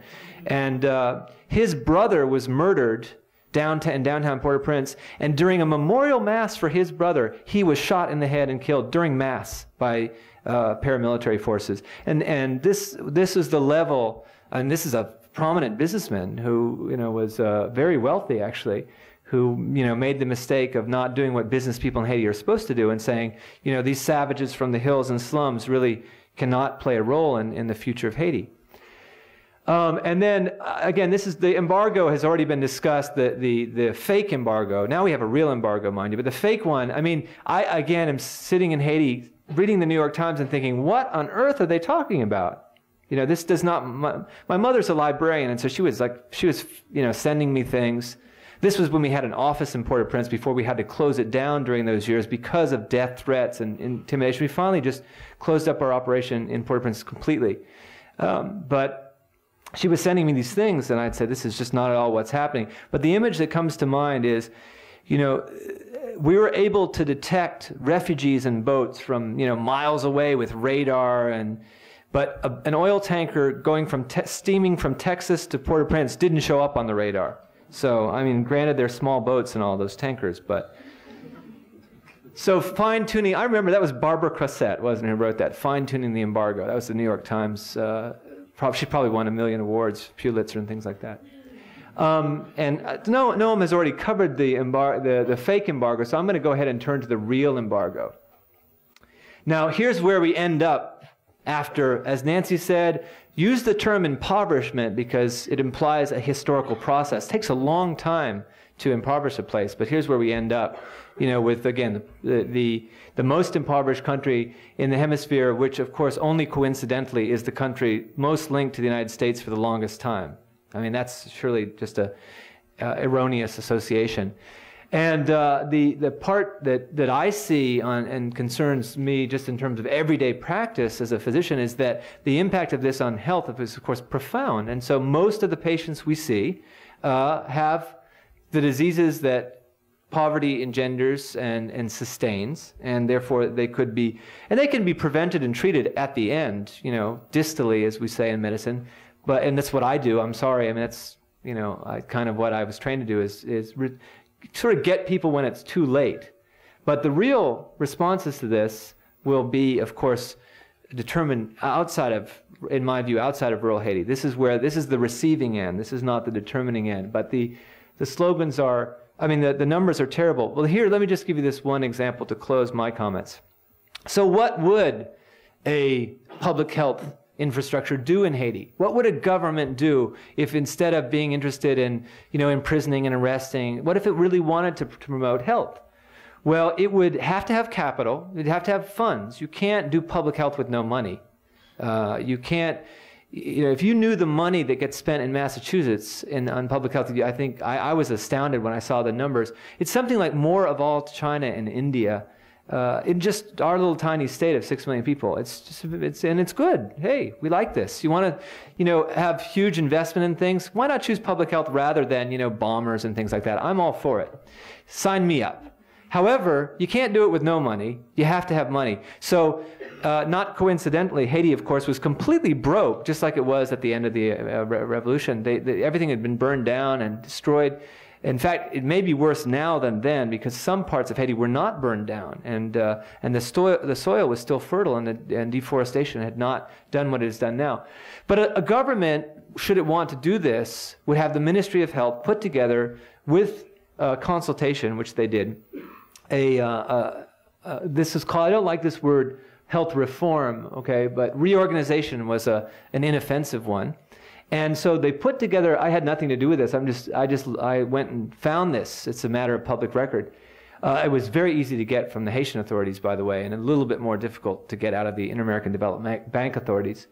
But on July 21st, 1998, the Haitian government and the Inter-American Development Bank, uh, which is a very important institution in Latin America in terms of, uh, you know, things with, the, with a, a, couple of notable exceptions, all of these you know, officialdom countries uh, go through these uh, mechanisms.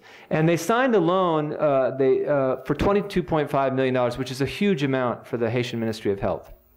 By the way, uh, in that anthrax outbreak, uh, I think it was the anthrax outbreak. It may have been an outbreak of meningococcal meningitis. I sent an email from Central Haiti to a friend of mine who was a, with the Ministry of Health saying, you know, it was meningococcal meningitis. I said, we're having an outbreak of uh, meningococcemia, meningococcal disease, and a baby had just died, and we, we saw uh, uh another case with purpura fulminans and saw another case uh, the next day. So we alerted them, and I got no answer back because they were supposed to come out and investigate, and that's what they had asked us to do. And a couple months later, I saw the guy who was, like I said, a friend of mine who's a very uh, earnest, good person, and I said, "Why, why didn't you?" come out to investigate this, and he said, We didn't have any gas for the Jeep. So, I said, you know, that was the end of that discussion because I thought, you know, I'm not going to be rebuking people for not having gas. It's like that's sort of our foreign policy yell at people for being poor. So now let's yell at the, the, the Haitian government for, and for being poor. We do that very well, by the way, with, with very uh, little in the way of critical response from uh, you know, the, the mandarins of uh, American foreign policy, the in, including the intellectuals. Again, I don't know. You, you follow this more closely than I do. I haven't seen a lot of commentary on what it is exactly we're doing, but it looks a lot to me like yelling at the poor as, as really powerful, wealthy people. Now, uh, a nation rather. So this was the goal of the, the loan, and you know, it's pretty standard fare, really quite dull to read actually. I can't believe I uh, I, I, had to have help from my coworkers get, getting through it. It's very, it was boring. And the, the goals, these are the project goals. I'm just summarizing for them for you. But basically, they were very standard public health goals: reduce infant mortality, reduce, and you know there was a plan, and it was approved by the, the Haitian government and. And it got stalled in Parliament because there was a famously obstructionist Parliament. That's, by the way, that's why the Haitians voted in March. These are the famous disputed elections uh, in March of 2000, nothing to do with the presidential elections that would happen later on that year, the Haitians went out and tried to do clean slate for one party so they could get rid of the obstructionist parliament, and they did. You know, they everybody went out and voted for the same the same party in order to have the obstructionist parliament not block every sort of sort of Haitian gridlock of blocking every uh, every. And I would say this is by any kind of standard, a reasonable proposal, and you know what you'd want a public health uh, project to look like. So in any case, then what happened? Well, in October 1998, the Haitian Minister of Health presented the project to the legislature, and I, I just wrote obstructionists because that's what they were doing. They were basically trying to block everything that came from the, the, the central government. This was not under Aristide, by the way. This was under uh, Préval. And uh, in then, after the March elections had led to a non obstructionist parliament, that is, an, a parliament that would, would vote to approve pro- proposals from the central government, it was uh, ratified there. And the money, the, the uh, Inter American Development Bank said, uh, okay, money's on the way. This was uh, announced in the papers the, as official. And then there were new conditions put on. And this is when I started hearing about this. You know, if you're sitting there in rural Haiti and your number of patients is increased by twofold in 18 months, and you have seen various clinics and hospitals close down in the region, and you know, your doctors and nurses are saying, we can't see all these patients. And they're getting rather, they're just, it's just not possible to see if there's a medical staff of eight or nine people to see four or 500 patients in a day. And so the, you, get, you have, uh, I'm the medical director, so they're coming to me with complaints. They say, we can't see all these patients. And I say, what can I do? These are all Haitian colleagues. I say, you know, your country, the country's sick. We have to see the patients. But I'm just waiting for this IDB thing to go through so that the other institutions can be reopened as is the stated intention of the Haitian Ministry of Health. So I'm waiting. So I started asking, where's that loan that would uh, allow the other public health, because this is, you know, this is a, pri- a private charity hospital, that is, as a, a, private hospital doing the work of the public health uh, infrastructure. So we're just waiting. We started looking into it, and we found out, we started following it. And uh, the most amazing thing I heard was last summer when I found out that the, Ameri- the Haitian government was actually paying credit commissions and interest on a loan that had not been dispersed. And I said, you know, I'm not an economist or a banker. You know, I, I you know, I'm sorry, I'm, I'm just a, a, physician anthropologist, but isn't that illegal? You know, is that, can you do that?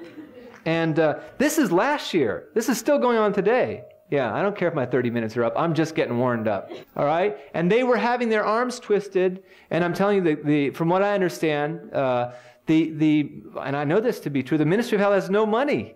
The, the size, let me just give you one, another little ironic thing. The size of the Brigham and Women's Hospital budget, okay, where I work, and some of you have been there, is larger than the Republic of Haiti. And you read in the newspaper maybe a couple of days that the, United, the Brigham Women's Hospital has $163 million a year in support just from the INH. The INH is isoniazid, sorry. NIH. INH is a drug to treat tuberculosis. Forgive me. Did I really do that? Anyway, nice excuse him. Anyway, so this is what we're left with, and this is what I'm, I'm going to close with. There they are, you know. You know, people can say, okay, well, what are you doing getting involved in this stuff? Or, as I heard today during rounds, why are you giving a talk with Noam Chomsky? Um, that's true, isn't it? And uh, he didn't say it.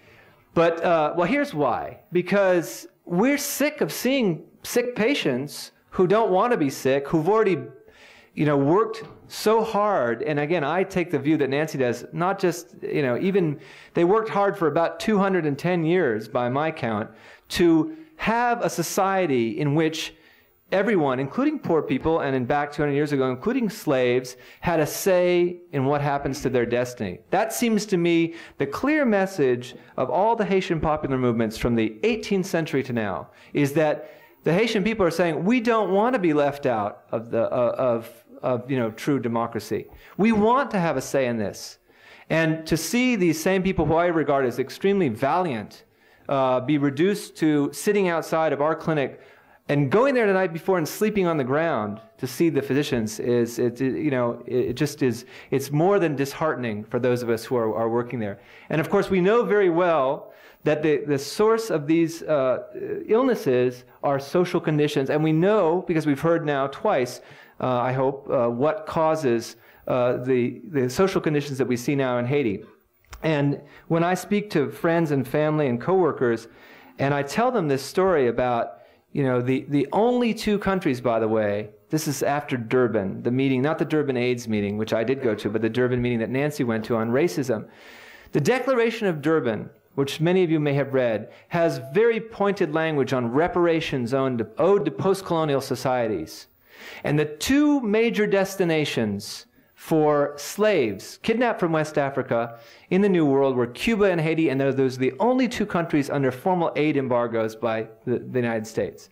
So that's right now how we're uh, paying reparations to Haiti. Thank you very much.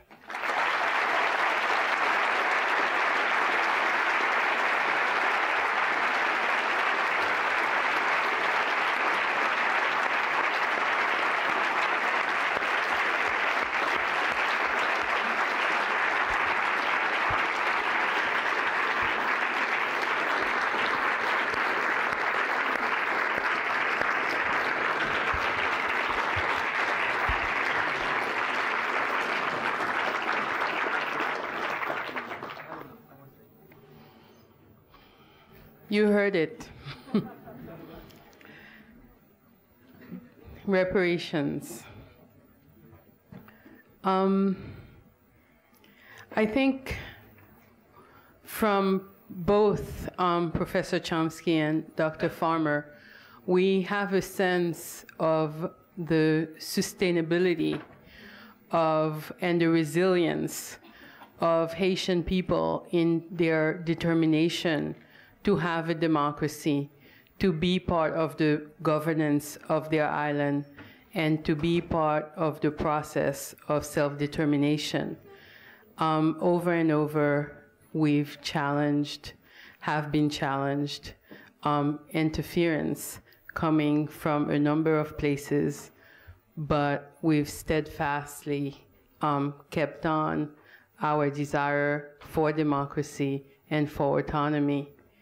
Um, I think after hearing these two prominent scholars, I'd like to give a chance to you guys, the emerging scholars, to air your thoughts and ask questions and perhaps offer um, some guidance to the scholarly and um, powerful people who have interfered with the sovereignty of the Haitian people. Go ahead. You never mentioned the United Nations. I was wondering what their role is, what's their position. Do you want to take the microphone? Did everybody hear the question? Um, the, the first question was, what about the United Nations? I never mentioned them. What is the United Nations again? What? oh, oh, the thing in New York. Um, I'll let I'll let Noam I'll let Noam take this, but I just want to say one thing before I pass on to him is having lived in Haiti for 20 years, I have developed a deep uh, suspicion of the uh, international you know, bi- bilateral groups like that. I mean, the Organization of American States has been quite craven uh, and is not willing, it certainly will not countenance any United States dictum. And uh, so the, the degree to which any body can really challenge uh, what are profoundly unjust policies, uh, any body like that are, are, you know, I don't know much about it, but I uh, can tell you that they have been uh, pretty cowardly on many occasions. Now, the, the governments are not in a position to say things like that. They don't. That's not the language that they use. You, you, know, regardless of what stripe of government. But that's the language. I mean, I have the latitude to use that, and I've I've found them uh, cowardly and unwillingness to speak clearly about what they see going on.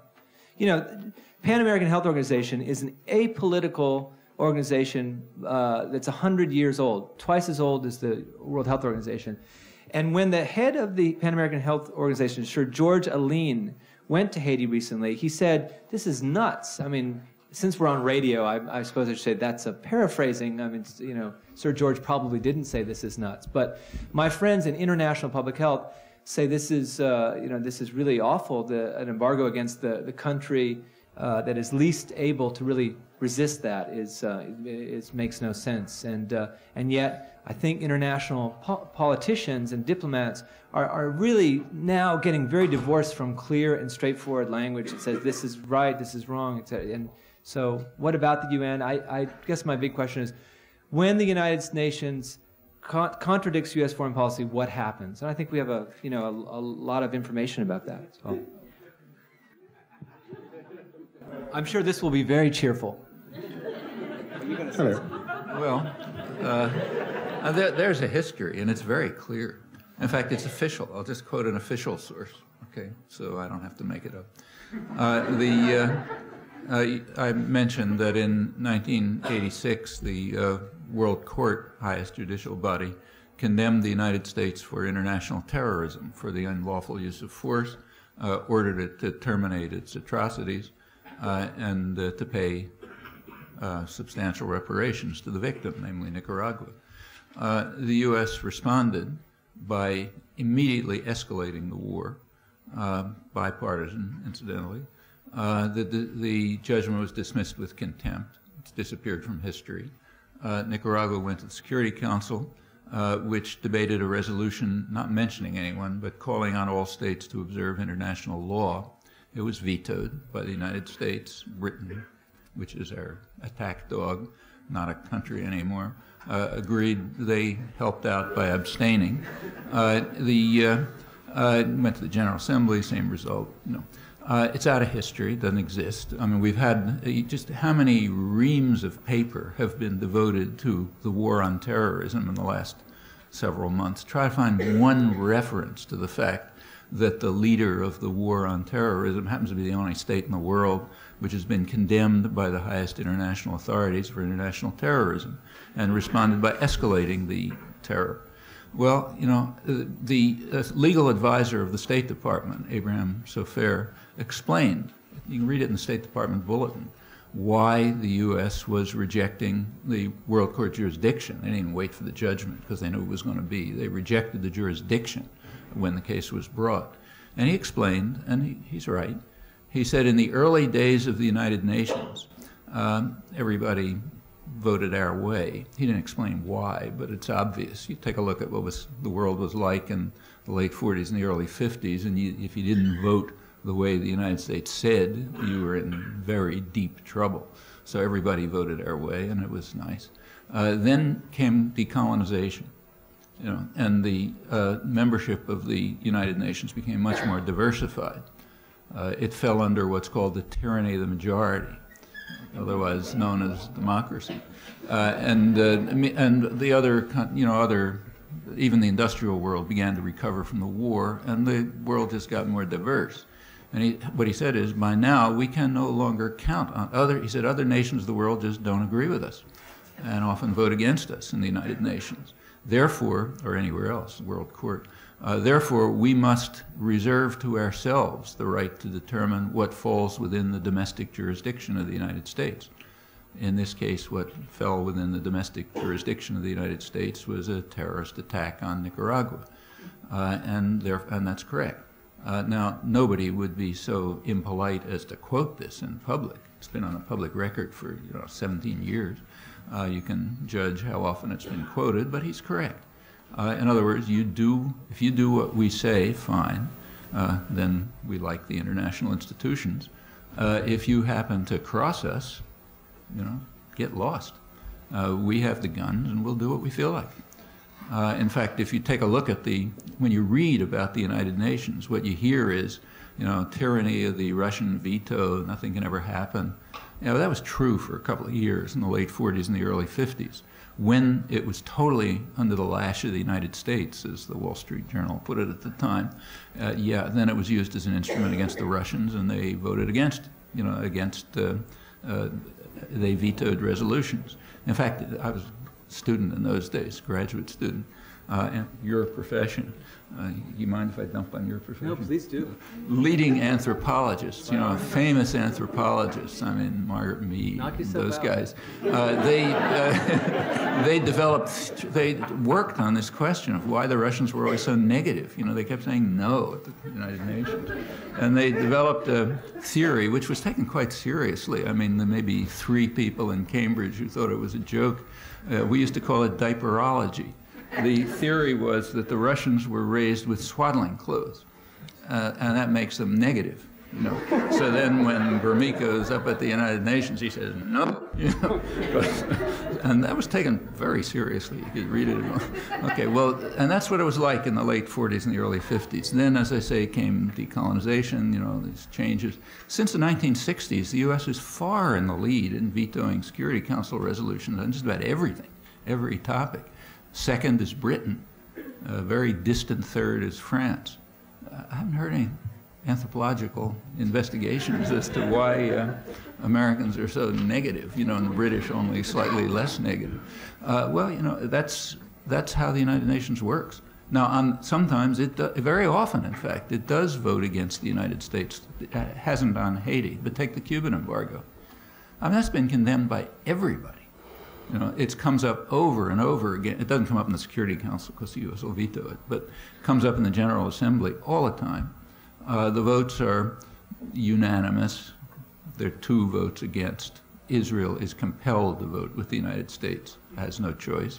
So there's two votes against, but Israel violates the embargo. I mean, they, you know, they, they know they got to vote with the boss, but they violate the embargo. Uh, the OAS, which, as you say, is totally supine, they've condemned it. Their legal commission has condemned it. It's been condemned as in violation of international law. Uh, the European Union brought it up the World Trade Organization because the embargo, especially the secondary boycott parts, are in gross violation of the World Trade Organization rules. They brought it up. The Clinton administration responded first uh, by saying that, um, that the, uni- there's a thing in the World Trade Organization called a national security exemption. Like if your existence is at stake, you know, you can violate a trade law. Uh, so the U.S. first claimed the national security ex- exemption. I mean, there's, you know, like if we don't start prevent food and medicine from going to Cubans, we'll disappear, you know, as a country. Uh, but that was too ludicrous. Uh, so they finally simply told them, you know, the usual answer: get lost. I mean, we don't care what it says in those rules any more than we do when it says that you can't uh, stop the Japanese from sending supercomputers, which are better than ones made here. You don't like it? Do something about it. Uh, as Stalin once is reputed to have said uh, when the Vatican criticized him, how many divisions has the Pope? You know, well, I don't know if he said that or not, but that's uh, what the powerful say. You know, you, you don't like what we're doing? All right, do something about it.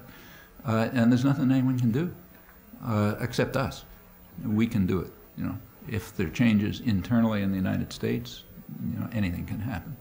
Uh, one of the reasons why this stuff is never reported, and it isn't, and never discussed, is because people might find out about it. If we had a functioning democracy here, you know, you might find out that what's being done in your name, and you might not like it. Uh, and that, this goes all over the world. Said, I was in Turkey a couple of days ago. What we've done there under the Clinton years is grotesque. I mean, the charges against Milosevic in The Hague, you know, bad enough, but nothing like what happened in the same years that Clinton was paying for it, just in Turkey alone. That's one place. Therefore, it isn't discussed. the Cuban, the votes on the Cuban, uh, uh, the UN votes on the uh, Cuban uh, embargo, you know, they're scarcely mentioned. Uh, the vetoes are almost never mentioned. I mean, the most recent one, I'll finish, is December, was last December, December 15th. Uh, the Bush was making speeches about how the terrible Palestinians are enhancing terror. Well, there's a way to reduce terror, which overwhelmingly is the powerful people, of course, the U.S. and Israel. Uh, there's a way to do it. Uh, you could implement the U.S. Mitchell Report uh, and uh, send international monitors to observe to uh, who who do in fact reduce violence when they're there. Uh, it came up at the United Nations Security Council. The Europeans introduced a resolution to that effect, calling for reduction of violence, uh, implementing the Mitchell Report, sending international monitors. U.S. vetoed it. Uh, went to the General Assembly, overwhelming vote in favor. This time, the United States also picked up not only Israel, which is automatic, uh, but also uh, Nauru uh, and uh, one of the other Pacific islands. I think jointly they have 20,000 people. So it wasn't totally isolated the way it usually is. Uh, do you think there was any report about this? Take a look. You know, if you really search, you could find a Professor word about Chomsky. it somewhere. I mean, that's the way it works.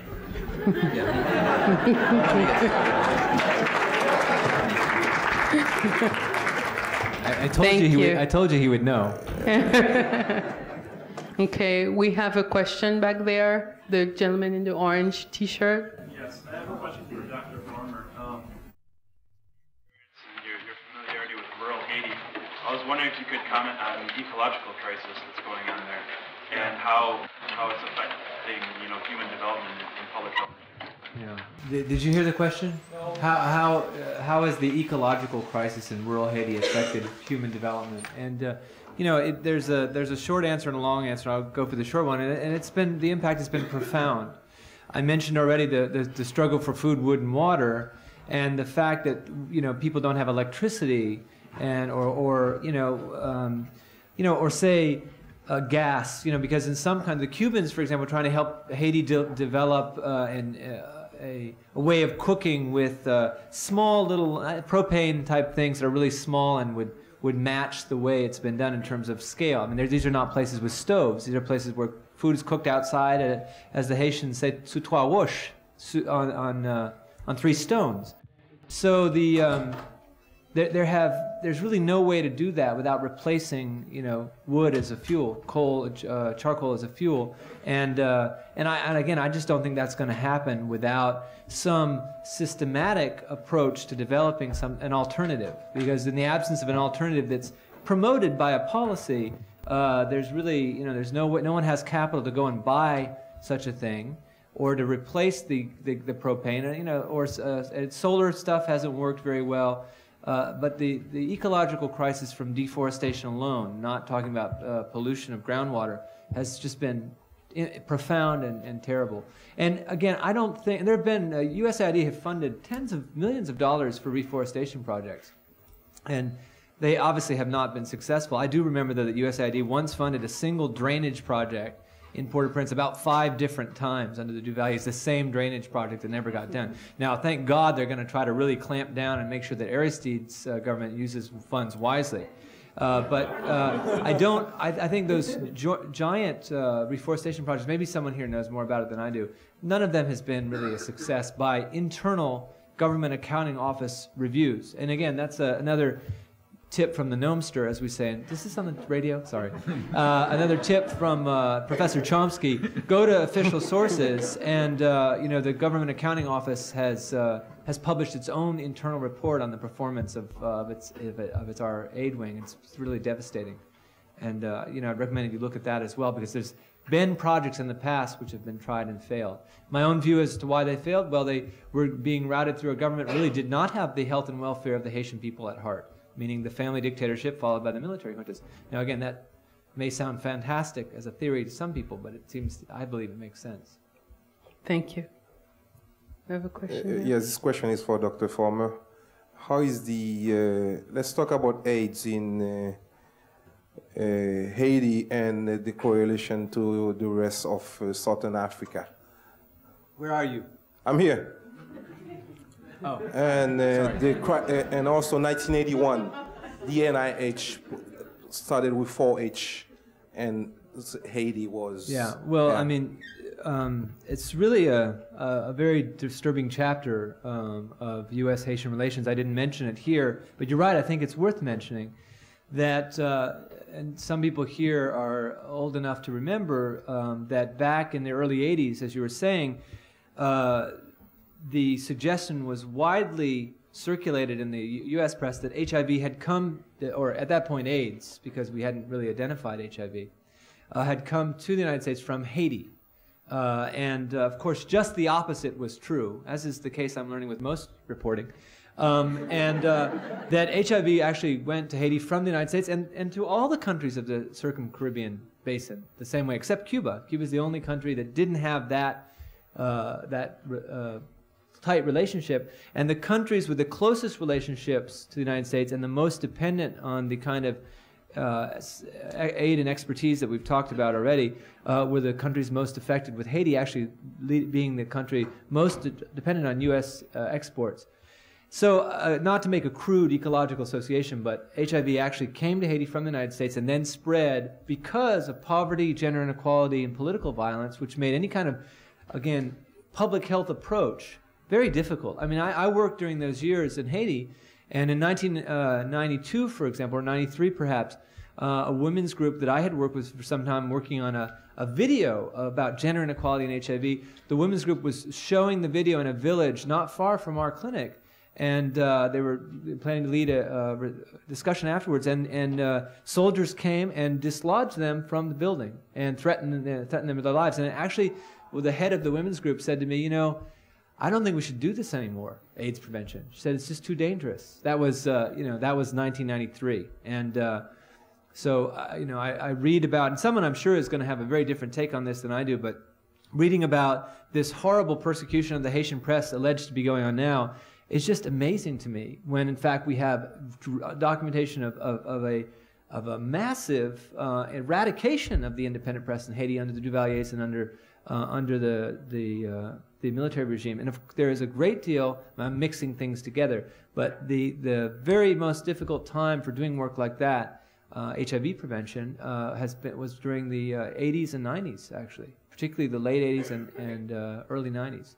So the epidemic in Haiti is moving forward un, untrammeled by uh, really significant uh, prevention efforts, and that's part of what uh, is being proposed by the Ministry of Health, a, a, a robust HIV program. Let me just tell you this one thing.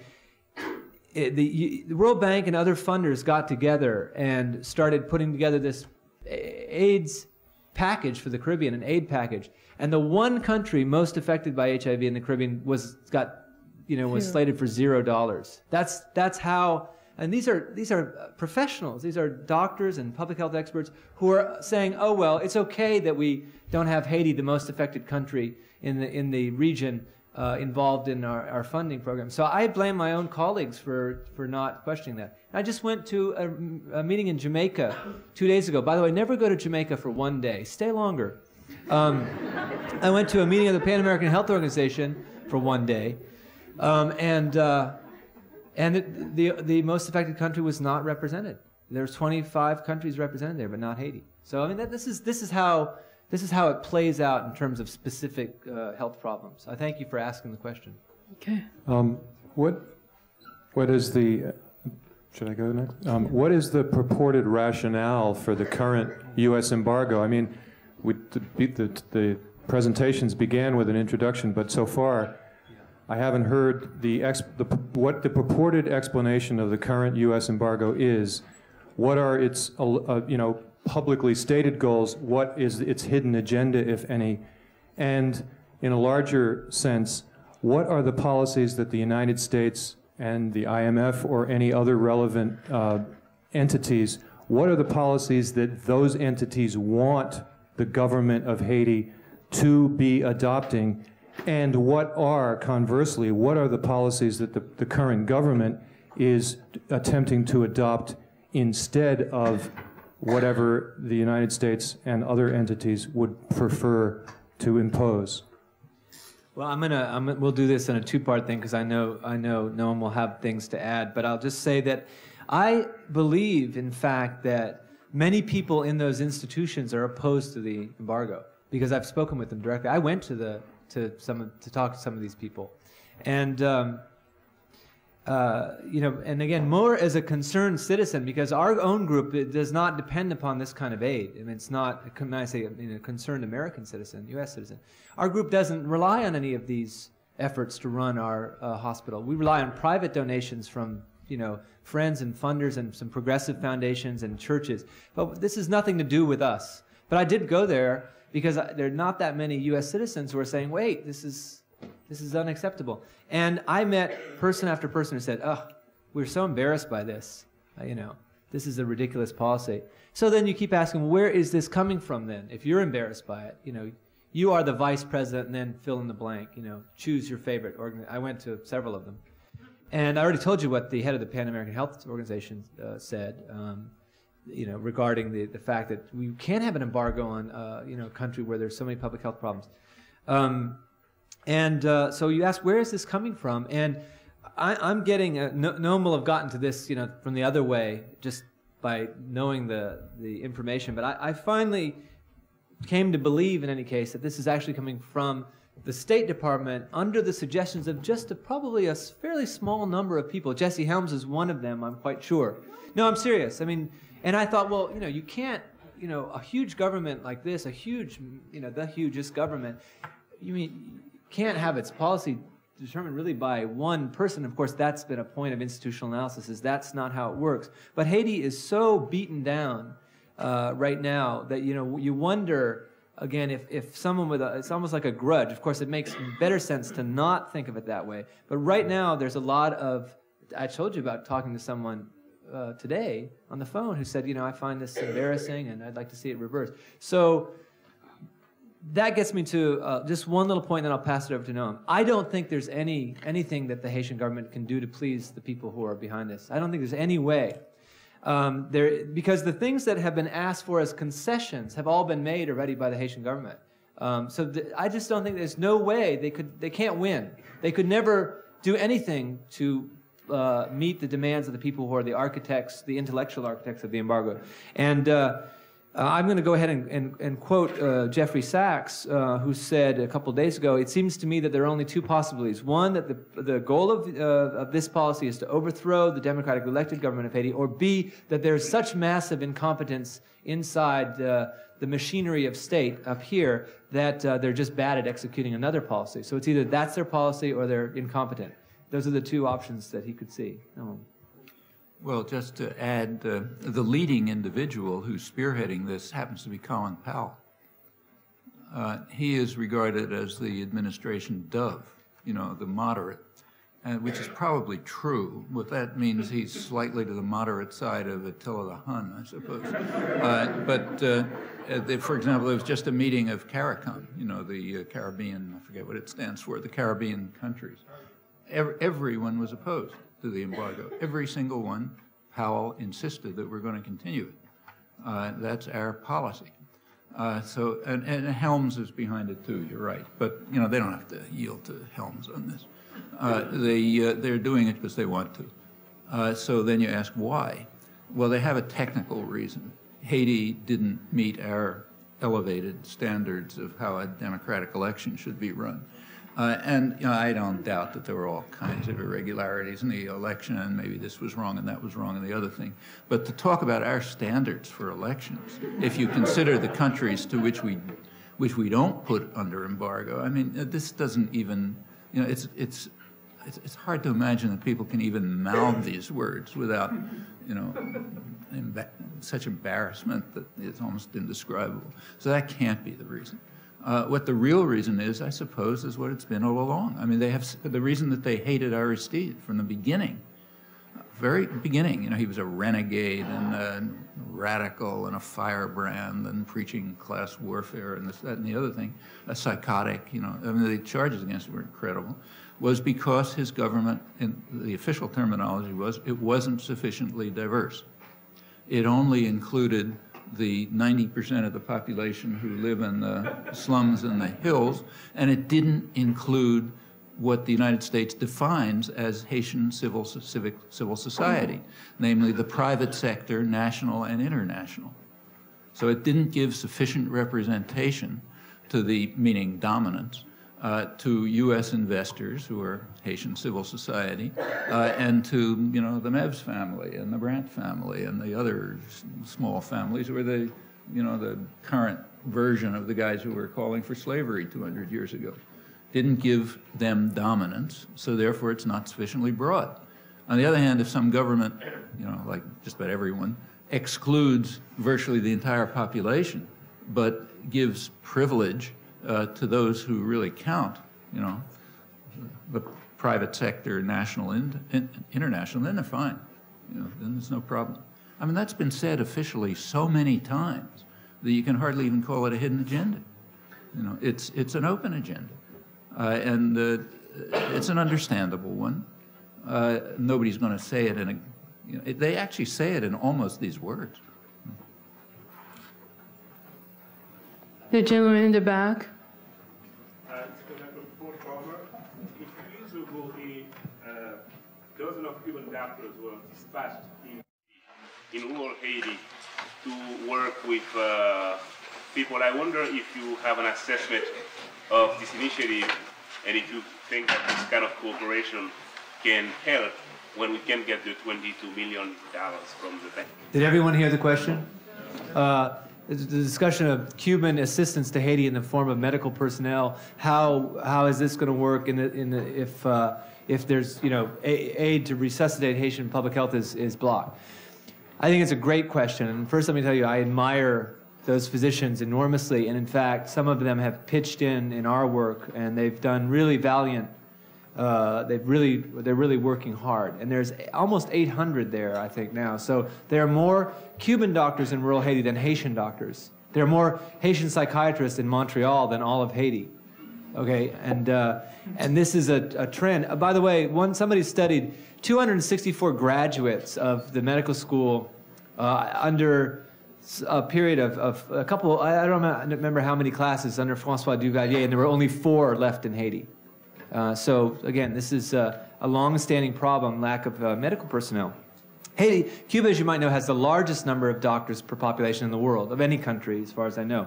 So their sending out doctors has been great. However, um, I think that the, the weakness of the Cuban aid strategy, it's nothing to do with them. It's like, again, yelling at countries because they're poor, is they, they, you need a third partner with capital. Either the Haitian public health infrastructure needs an infusion of capital right now, in order to make, the, make that work. Because the problem, frankly, is that if you have Cuban doctors fitting into the Haitian health system, that's terrible. The Haitian health system is all fee for service exclusively. So you just what you do. I don't. You know. You probably know this because you're from Haiti. But if you're in a clinic in Haiti or a hospital, the, the public hospitals, when the doctor prescribes something, he passes the he passes or she passes the uh, prescription to the patient or the patient's family member. And then you go out of the hospital to the pharmacy outside, buy the medicines, bring them back, give them to the nurse. I'm talking about gloves and in- intravenous fluid too, not just and medicines. So having Cubans come in and fit into uh, uh a fee for service system when they've been trained in a system of socialized medicine where that's not done uh, you know, is a major problem. And it's a very significant weakness of the program. Uh, if, if we were the, you know, the obvious partner for the Cuban aid program is us. We're the ones with the neighbors with all the money, you know, and in, an, in, a, in a sane world, of course, if a group of countries were trying to come together to help improve public health in Haiti, it would be a wealthy country and a country with enormous technical capacity in health, which is Cuba, helping out the, the, their neighboring country. And uh, right now, there's still, it's still not, there's still no strategy. France, Canada, the other countries that could do this have not come through yet to be the third partner. How has the public health initiative included education and preventive treatment in Haiti to prevent the spread of infectious disease in particular? And how would that be expanded once you do procure the funds? Uh, do people hear the question? How does uh, prevention, uh, especially pre- prevention of infectious Jesus, infectious Jesus? Did I say? Infect infectious diseases. That's my field. I'm supposed to say that correctly. Uh, how does prevention figure in, in the plans? Well, one of the big problems is, again, is that if you say to people, you know, uh, kind of like in the United States, don't do drugs, you know, don't get on welfare, whatever. But you know, you're, you're, you're, what, we, what happens too often in these settings is you're exhorting people to do things they cannot do. You know, for example, don't drink dirty water. Well, you know, There's no other water. that's great in Cambridge, you know, where you try not to scoop water out of a puddle to drink it when you're thirsty on Mass Ave, or you buy, for no good reason, no offense, Dinesh, uh, Poland Springs water. Our water is clean. It's nothing to do with individual volition, you know, or if some uh, uh, kid at Cambridge Rindge and Latin High School, it, whether you know, as, as long as, as they drink the public water, they're not going to get sick. So I actually have limited enthusiasm for prevention, preventive measures that uh, rely exclusively on exhortation when in fact the big problems are structural problems. So prevent, prevention of infectious diseases like malaria, you know, is very difficult to do without money, without cleaning up stagnant water. And that's not the job of individual families. You know, it's not the job, it's the job of a public health system. Uh, you know, malaria, typhoid, you know, you have to have clean water. And it's not, I didn't have to develop uh, clean drinking water when I was in fifth grade. My parents didn't make me do that. They, they uh, I actually never thought about it until much later in life. Um, and that's, again, same thing. HIV, sure, we need to push education. We need to push prevention. We need to have culturally appropriate tools. We did all that in our, in our work. But their impact on that epidemic, if the major cofactors are poverty and gender inequality, will be limited. So we need resources in order to have a public infrastructure, and then prevention and education will really have its impact.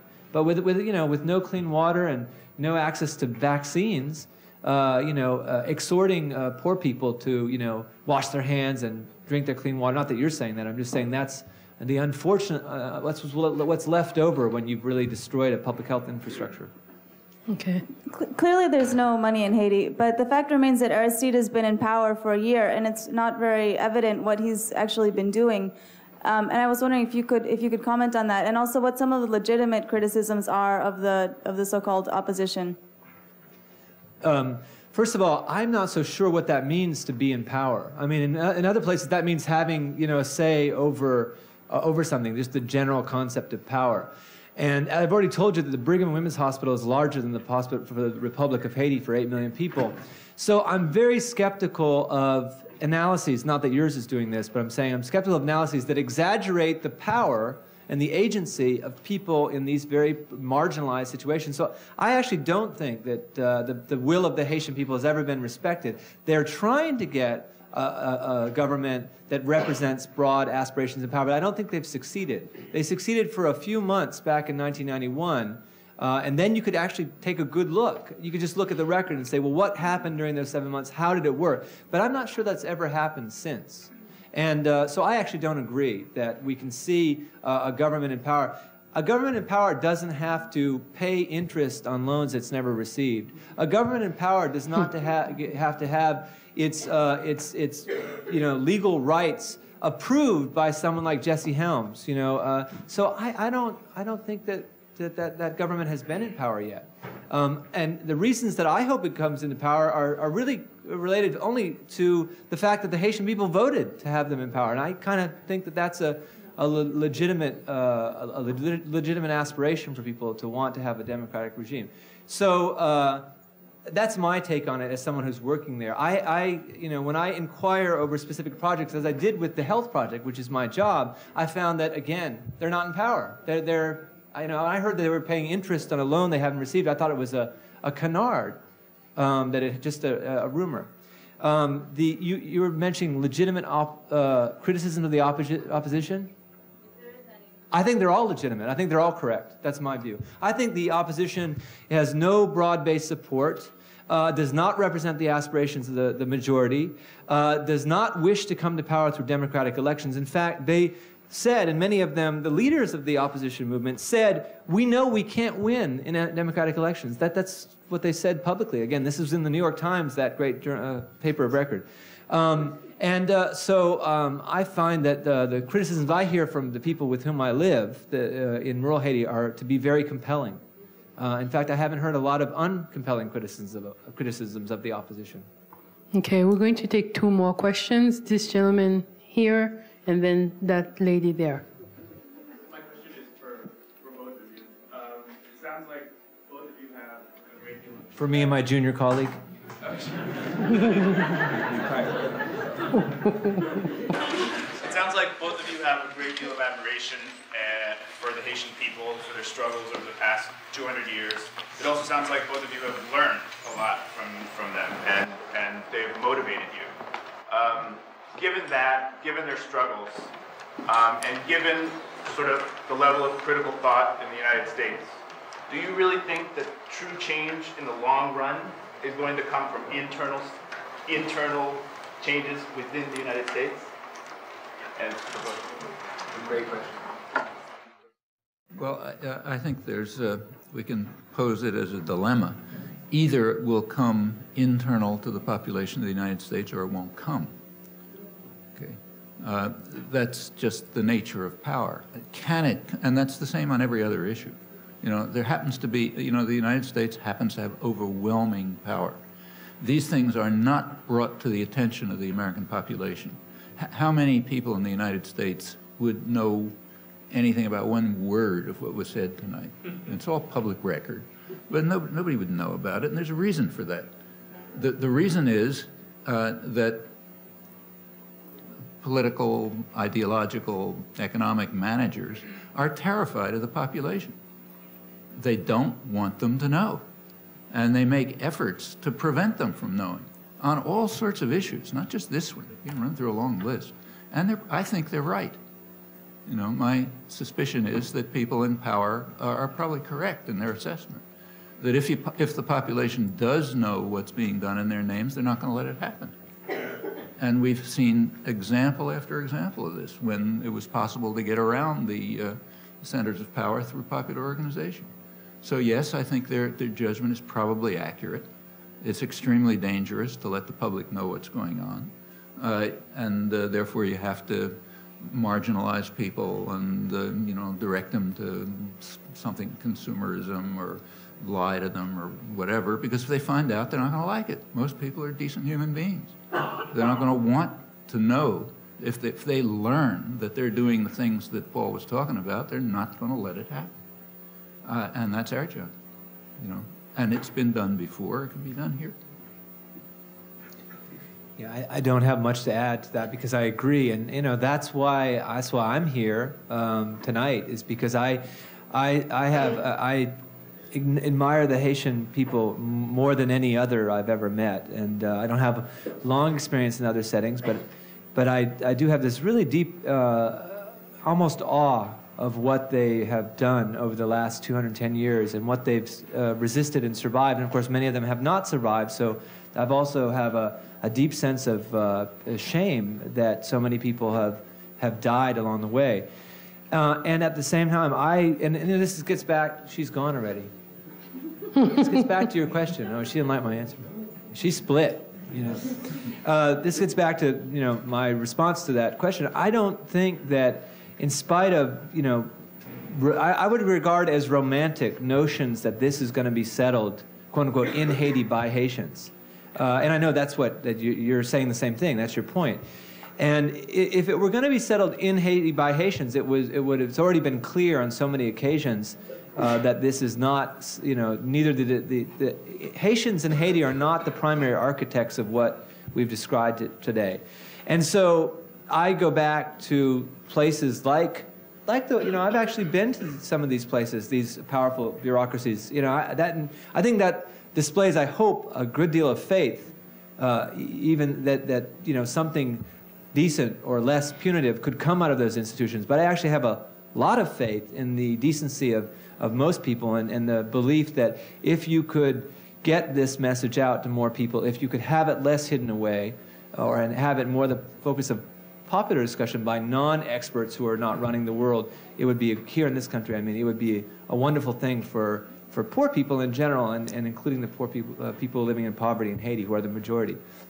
And I know that's what inspires him, too, to, to do work outside of linguistics, which I always found impenetrable anyway. Um, but uh, you know, I mean, that's that. That's why we're here.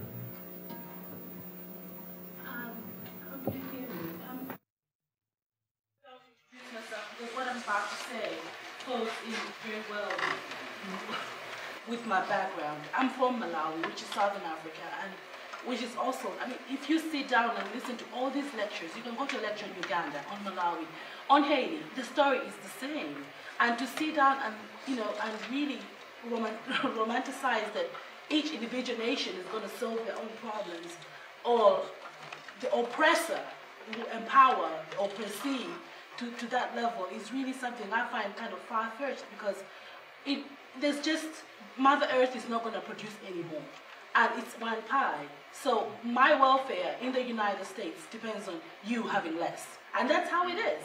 So how, I mean, to what extent do we really, are we really being realistic in expecting that uh, people, when we graduate from these institutions, we go to work in the workplace. It will literally mean that, you know, if I buy Pfizer's, you know, stock, I want it to do well. I don't care what happens out there.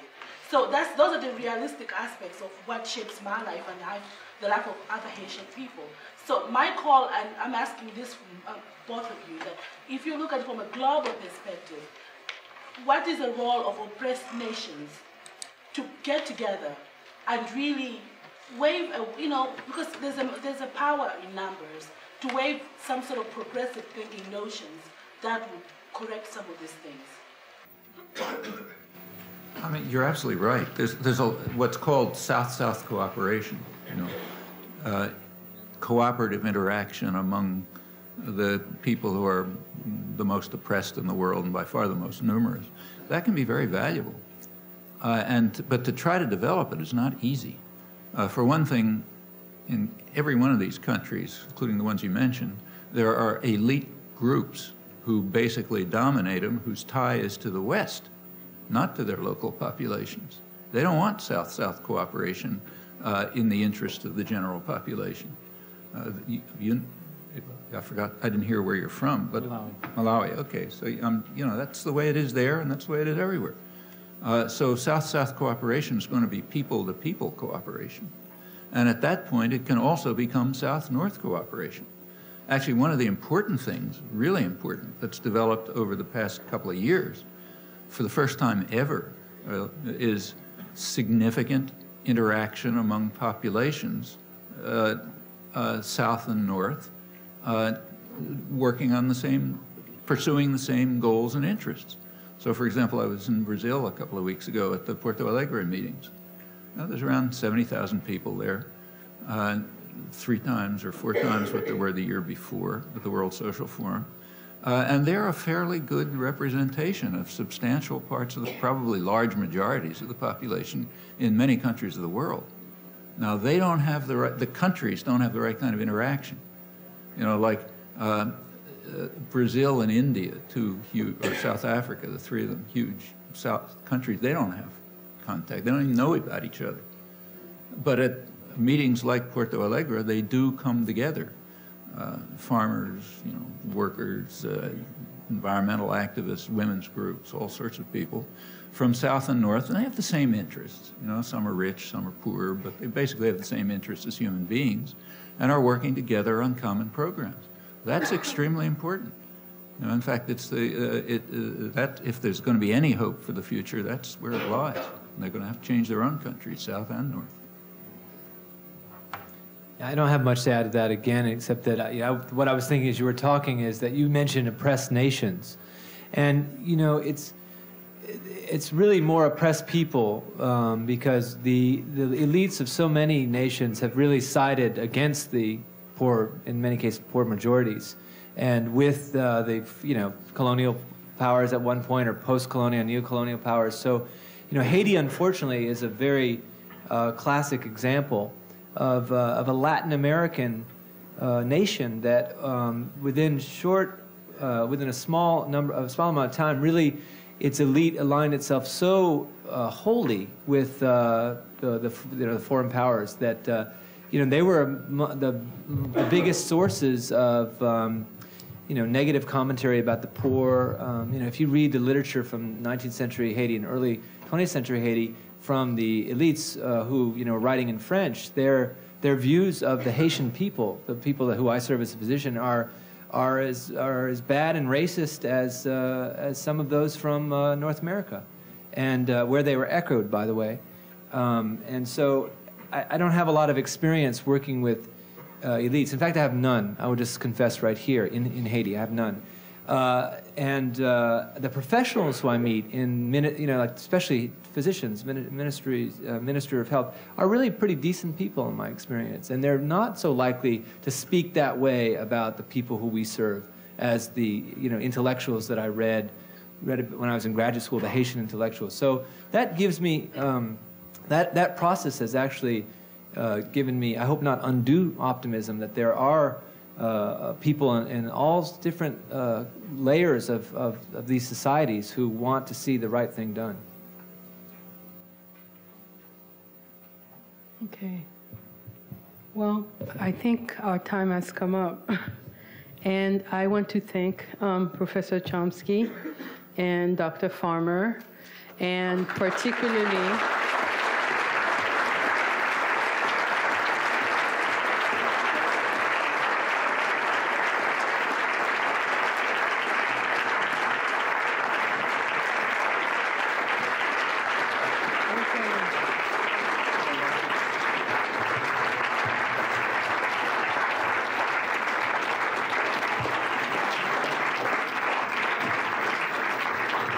also want to thank the Western Hemisphere Project and all the other co-sponsoring MIT organizations in the person of Danesh to have worked very hard to make this evening possible and bring a historical perspective and a compelling approach to the analysis of the Haitian situation. Thank you.